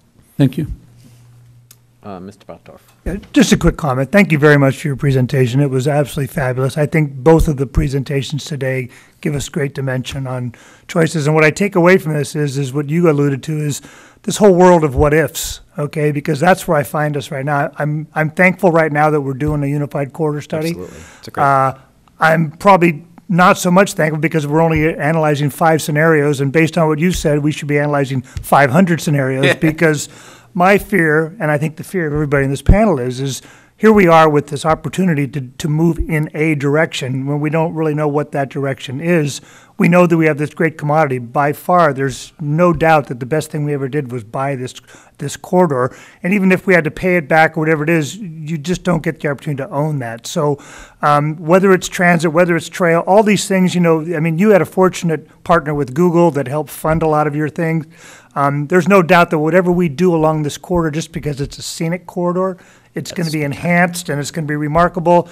And uh, the challenge, I think, for everybody on this board, for this commission, for this county, and I got to take it to that level, is this county is, it's a wonderful piece of property and it's the right choice and it's not black and white. It's totally gray and it's, it's, um, you know, some things may work, some things may work better. And I hope that somehow there's a compromise that comes with the people in this county so we can work together to do what's best and serves the county across the board. Thank you again, both of you, for your presentations. Yes, thanks. Uh, interesting presentation and really uh, expeditious in terms of how much information and detail you've provided us with. A couple questions that I do have have to do with what was the impact before this was even being studied to be used? I mean, did you have a serious problem like we have in this county in terms of Highway 1? Eh, Was there something identified already that said that we needed to work on this segment and doing Abs- Absolutely. We, I mean, the Seattle area is the fourth most congested in the country, so we're very similar to the, the area down here. And when I, my very first slide, one of the reasons Sound Transit was one of the purchasers of the corridor, Sound Transit actually has a transit easement on the entire 42 miles. So their interest at that time and why they bought it was to actually have some sort of transit alternative along the corridor. So this parallels uh, which 405, which is very similar to your 101, um, which is one of the most congested in the state. And so, and it goes all the way through the east side, through Bellevue and Redmond and Kirkland, and uh, it's where our sort of tech community is. And we need options. And I think that's the one thing I really appreciated uh, that was said earlier is whether the corridor, how it's used for transit, and it's not just us, it's that whole 42 miles, to create options is absolutely critical. And it's not a solution, but it's one of many. And I think that's, that's, that really struck me. And I think also what he said about if you're fighting, you get nothing is also very true. I mean, we were fighting up and below, and we got nothing, right? But what we did get, and I, I would offer, is we have still preserved all our options, right? So what we did to the corridor got the community to use it, got the community excited, and we could still put in a train, and we could still put in transit. So we have, by trying to say we're not going to do something that precludes something else, we've kept all our options open. But yes, it has been very much imagined as a transit corridor from its very inception, as well as a trail. And uh, do you have any other development with your the, the highway that is with the impact that you've got up there? Uh, because this this seems like it's more of a, a community based, Mm-hmm. and I, I don't know how much uh, you know what percentage of the community benefits from it Yeah. when everybody's going down to that section instead of the community as a whole needing to get maybe out. I don't know if you're a point to commute to um, versus people leaving that area out. Uh, how how does that how, how would that differ or how you Yeah, I don't know um, if you can scroll all the way back to the first map on the, on the, or I guess I could, but I don't know if there's a simple way to do that. But um, to answer, so the, make you maybe hit the one or something there. So I'll try to answer that with projections. So the Sound Transit projections for the ridership, if they put a light rail line from Bellevue, which is our major east side city, to Totem Lake, which is where the small is. So you can see uh, where Sound Transit owns is in central Bellevue, and they have a light rail line they're building across into Seattle. Uh, so the, yeah, that one right there, please. Thank you. Um, so what they were going to do is build a light rail line through Kirkland up to that our urban center, which was the mall. But their ridership projections for the 1.5 billion dollars was 5,000 people a day. Okay, and that sort of sounds like a lot, maybe, but we actually have two buses that carry 8,000 people a day that are just, just our little sort of semi-regional buses. And so what we said, why we came up with the bus alternative is we said, wow, that's a whole lot of money and a whole lot of impact on the community, and we can maybe actually exceed that ridership if we had this little bus fleet concept. And so we were trying to convince them of that. Um, they are going to be putting light rail on segments of this corridor through Bellevue and on to Redmond. Um, the rest of the corridors right now has no plans for transit on it. They basically just said, we're not going to talk about it for, for the short term. The total ridership on light rail is helps, but it's not replacing lanes of traffic, you know, so it's, it's the same, some of the same discussion. But um, they're looking at widening 405, they're looking at toll lanes, we already have some toll lanes, they're looking at more of those. So there's all sorts of other conversations going on about what needs to be done to do congestion. But if you could actually have transit on this corridor, you could get off the freeway, run parallel to it, and then get back on in Bellevue and go across to Seattle. So it would help a lot of people quickly. Thank you. Thank you. I wanted to just thank both our presenters. It's been really great information. As someone that's worked worked for years on ac- acquiring our corridor and advocating for it, it's taken me aback the divisiveness of both sides of this conversation. And what your presentations have highlighted for me is that we have a lot more in common, both of you, all of you in the audience, those who would want only a trail and those who want a rail and a trail. We have a lot more in common in terms of our goals um, and that's what I would love for everyone to actually focus on as a community so that we can come together as a community and come up with those really good options. And one of those goals is we need to preserve the option of transit along this corridor. It's absolutely bad public policy not to preserve that option. Exactly what that option is and how it rolls out, that's another question, and obviously that's the divisive question. Um, but we need to keep that option open. It's just, it's just uh, silly to do otherwise. But thank you again. It was great information. I love trains. Every time I travel, I, tr- I we always find my husband makes me ride a train of some kind, even if it's dilapidated. He doesn't care. Um, so I've st- survived lots of bad trains and good trains, and I love the smart train. It's a great train. Um, and congratulations on what a, what a wonderful thing you've done for your community. I mean, these walking trails, I've been, um, this one's unique. I haven't been on this one, but I've been on many other ones, and they're just wonderful. I mean, they're just used by everyone. And I can just imagine how it would explode our tourism industry and our economy here if we had such an amenity here. So thank you. Mr. Caput. No question. Um, uh, Ms. Triplett, uh, thank you very much for the presentation. Uh, I chuckled a little bit when you said that the uh, uh, uh, cross Kirkland corridor, you know, everybody talked about. Um, you know, that's like just like our corridor, where everybody talks about it. We just don't talk about the same things. Yes, exactly. So, uh, That's uh, so true. but it is a big co- piece of Mhm. conversation.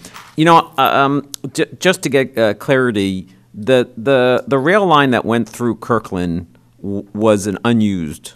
Yeah. Uh, corridor. There wasn't any freight on it or anything like that. Right, so the, the Burlington Northern had abandoned the line, and then we rail banked it. So the northern piece in Snohomish County does still have active freight, and actually that is also in public ownership, but it does have a freight line on that section. But the rest of it did not. And in looking at the maps, it seems like the surrounding area is all urban. There's no ag. There's no ag, right? Yeah. That's so, uh, so there's there's slight differences uh, uh, to what we have Absolutely, here.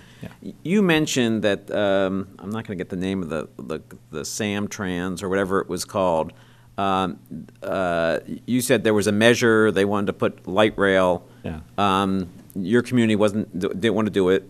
Um, and so they did a funding measure, and then you're not getting money from that measure, or how does that work? That's correct. Uh, yeah.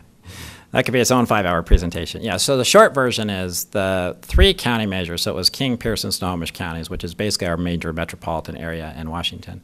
Uh, it was primarily sales tax, but also a property tax measure. And so what the three county board, the Sound Transit Board, was doing is trying to figure out what would they build and where would they build it. And because Sound Transit had a transit easement that they'd already purchased on this corridor, they did planning for different scenarios on the corridor. And so one was they already are currently building light rail from Seattle to Bellevue, and it was to extend that light rail line up through Bellevue, up through Kirkland, up to our urban center, our Totem Lake Urban Center, um, which is where we want that kind of transit.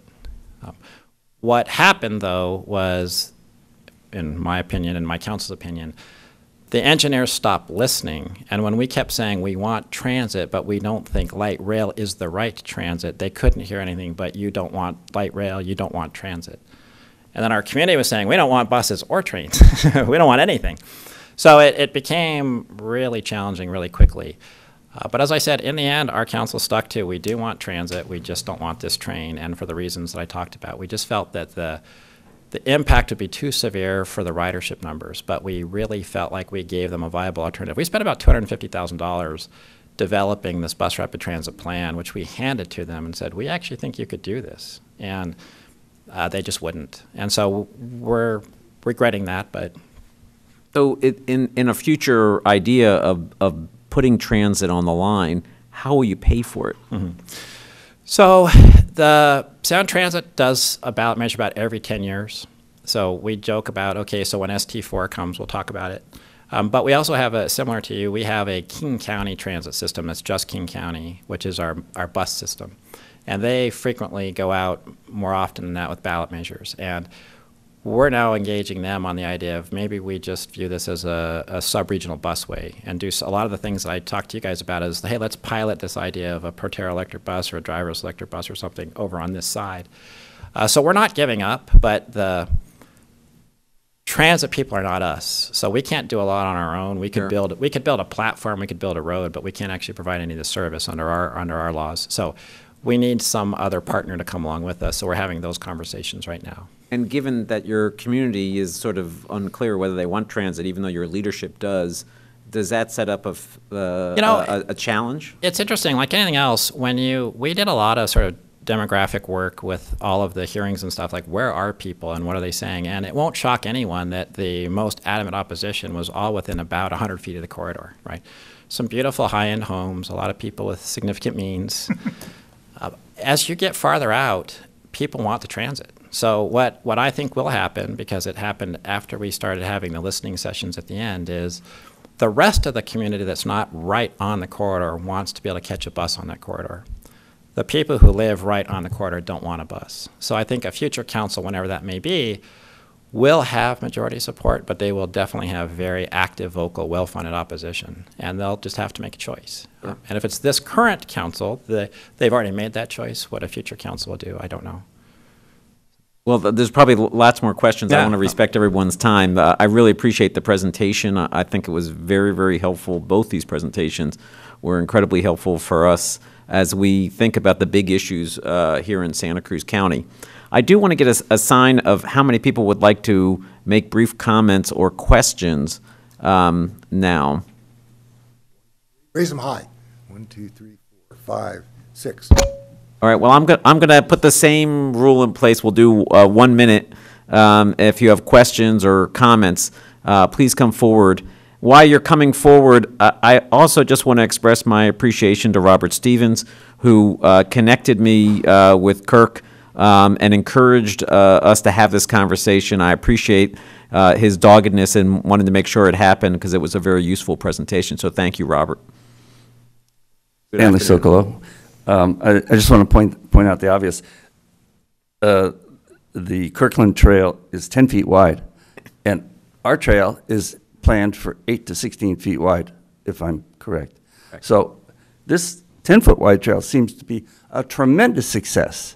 If we end up with a 12-foot, 8-foot in the constricted areas wide trail, it could be a tremendous success, even though it's got a train next to it, or a bus, or whatever or podcars or something.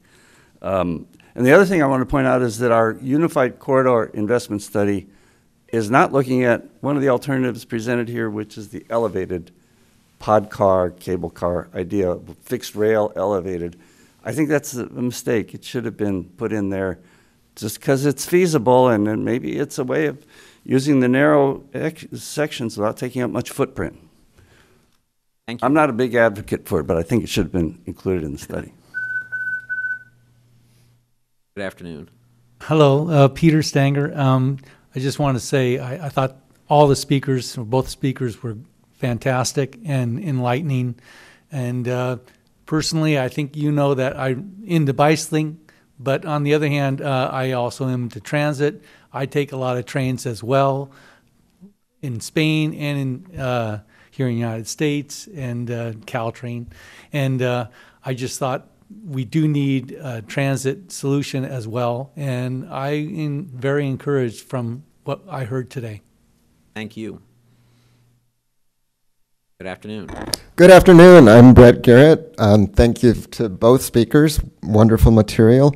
Um, in particular, I want to thank Mr. Triplett for mentioning the concept of fixed guideway technology and overhead um, um, transit. I'm a I'm a big fan of personal rapid transit, and in particular the the SkyTran approach.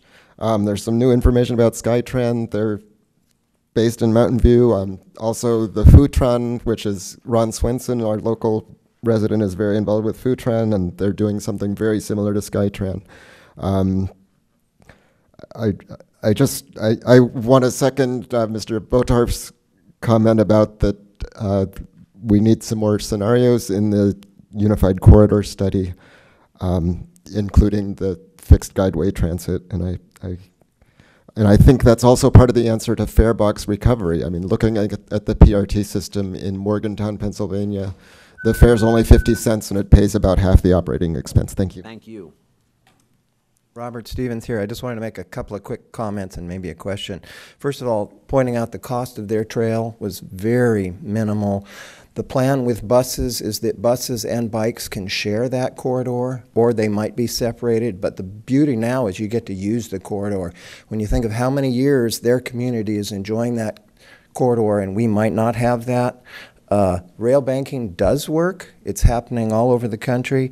And this idea that there will be lawsuits like the 20, 200 million up in Seattle is really not true if you ask Kurt. He can explain you all the details on that. So for me, the obvious way forward is rail banking, keeping all our options open and letting people use the corridor now because it's an asset for our whole community. So thank you, John, for putting all this together.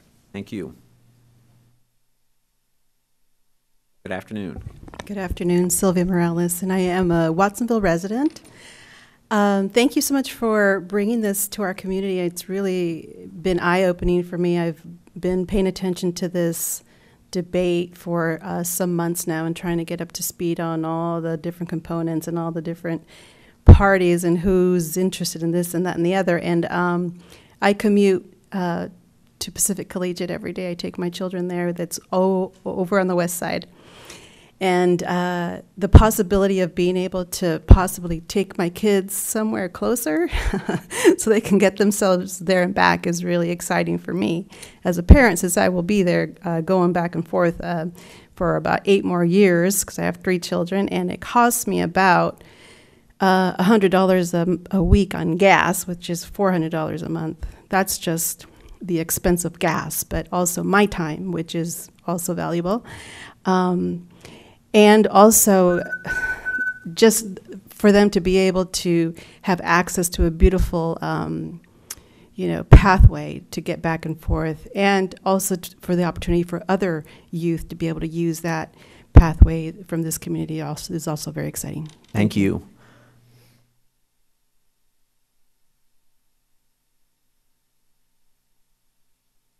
Hello, Felipe Hernandez again. Um, I like the way they did the uh, on the previous presentation when they did the uh, sort of lessons learned. So if you could do it over, what would you do different? Would you remove the tracks? And you mentioned that you're doing two lanes on the trail, or trying to do two two lanes on the trail. Um, how wide is your trail? And our plan is for 10 to 16 foot wide. Do you believe that's a safe accommodation for a trail? And the third question is, how many bicyclists and pedestrians are using the trail daily? Do you know the split of commuters and recreational riders? Uh, sort of the line of questioning that came over here. How many cars do you think are taken off the highway by, with a trail? Thank you. Thank you. Is there anybody after Ms. McNulty? You will be the final comment on this. Okay. Um, I would like to echo, echo others' um, gratitude for having this presentation today. It would it'd be terrific to see these happening in a bigger, more community-centered forum. I know it's difficult for people to make it here in the morning, and I think these were two valuable speeches here today. So the more we could have this type of thing um, in the evening, it would be wonderful. And also um, I hope that these speakers are coming in time to actually have some impact on the study that is going on right now. Um, it was tremendous to see this idea that, you know, we have one community that has installed a trail. They're holding on to the idea of transit maybe for the future. They're not worrying about how much money they may or may not have lost in grant funding because the community is benefiting it from it right now and they're seeing unexpected benefits.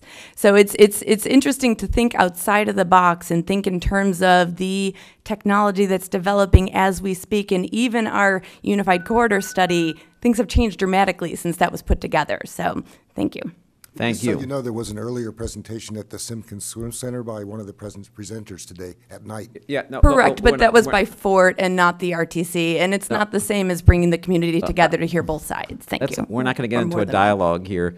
Um, the, we, these uh, talks that are part of the Innovators Series are available on, or will be, the ones that have already taken place is available on our website, and these will be available on our website. And I encourage uh, whatever side of the discussion you want to be on, uh, to share these through social media, websites, newsletters, um, so people can hear them, because that is the interest of us is to educate the community as broadly as, as possible, us as policymakers, but the community in general. Um, so we're not going to take time to answer all the questions. We will work with Mr. Mansour and Mr. Triplett about uh, uh, getting some question answered and figure out a way to do that. Uh, because of the hour, I'm, I'm, I'm sensitive uh, to the timing about that. Did you want to say any final words, uh, Mr. Dondero? Um, we do have a closed session item that I need the uh, commission to stay for, and if there's anyone who would like to address us about that that that item, please come forward. Seeing none, I just want to again express the appreciation appreciation of the entire Regional Transportation Commission uh, to Mr. Triplett, M- uh, Mr. Mansourian, uh, Ms. Fudge, uh, for being here, for uh, helping educate us uh, and the community uh, about the different strategies that you use to come up with very good, innovative solutions to moving people around in your community. It really helps us out. Thank you very much.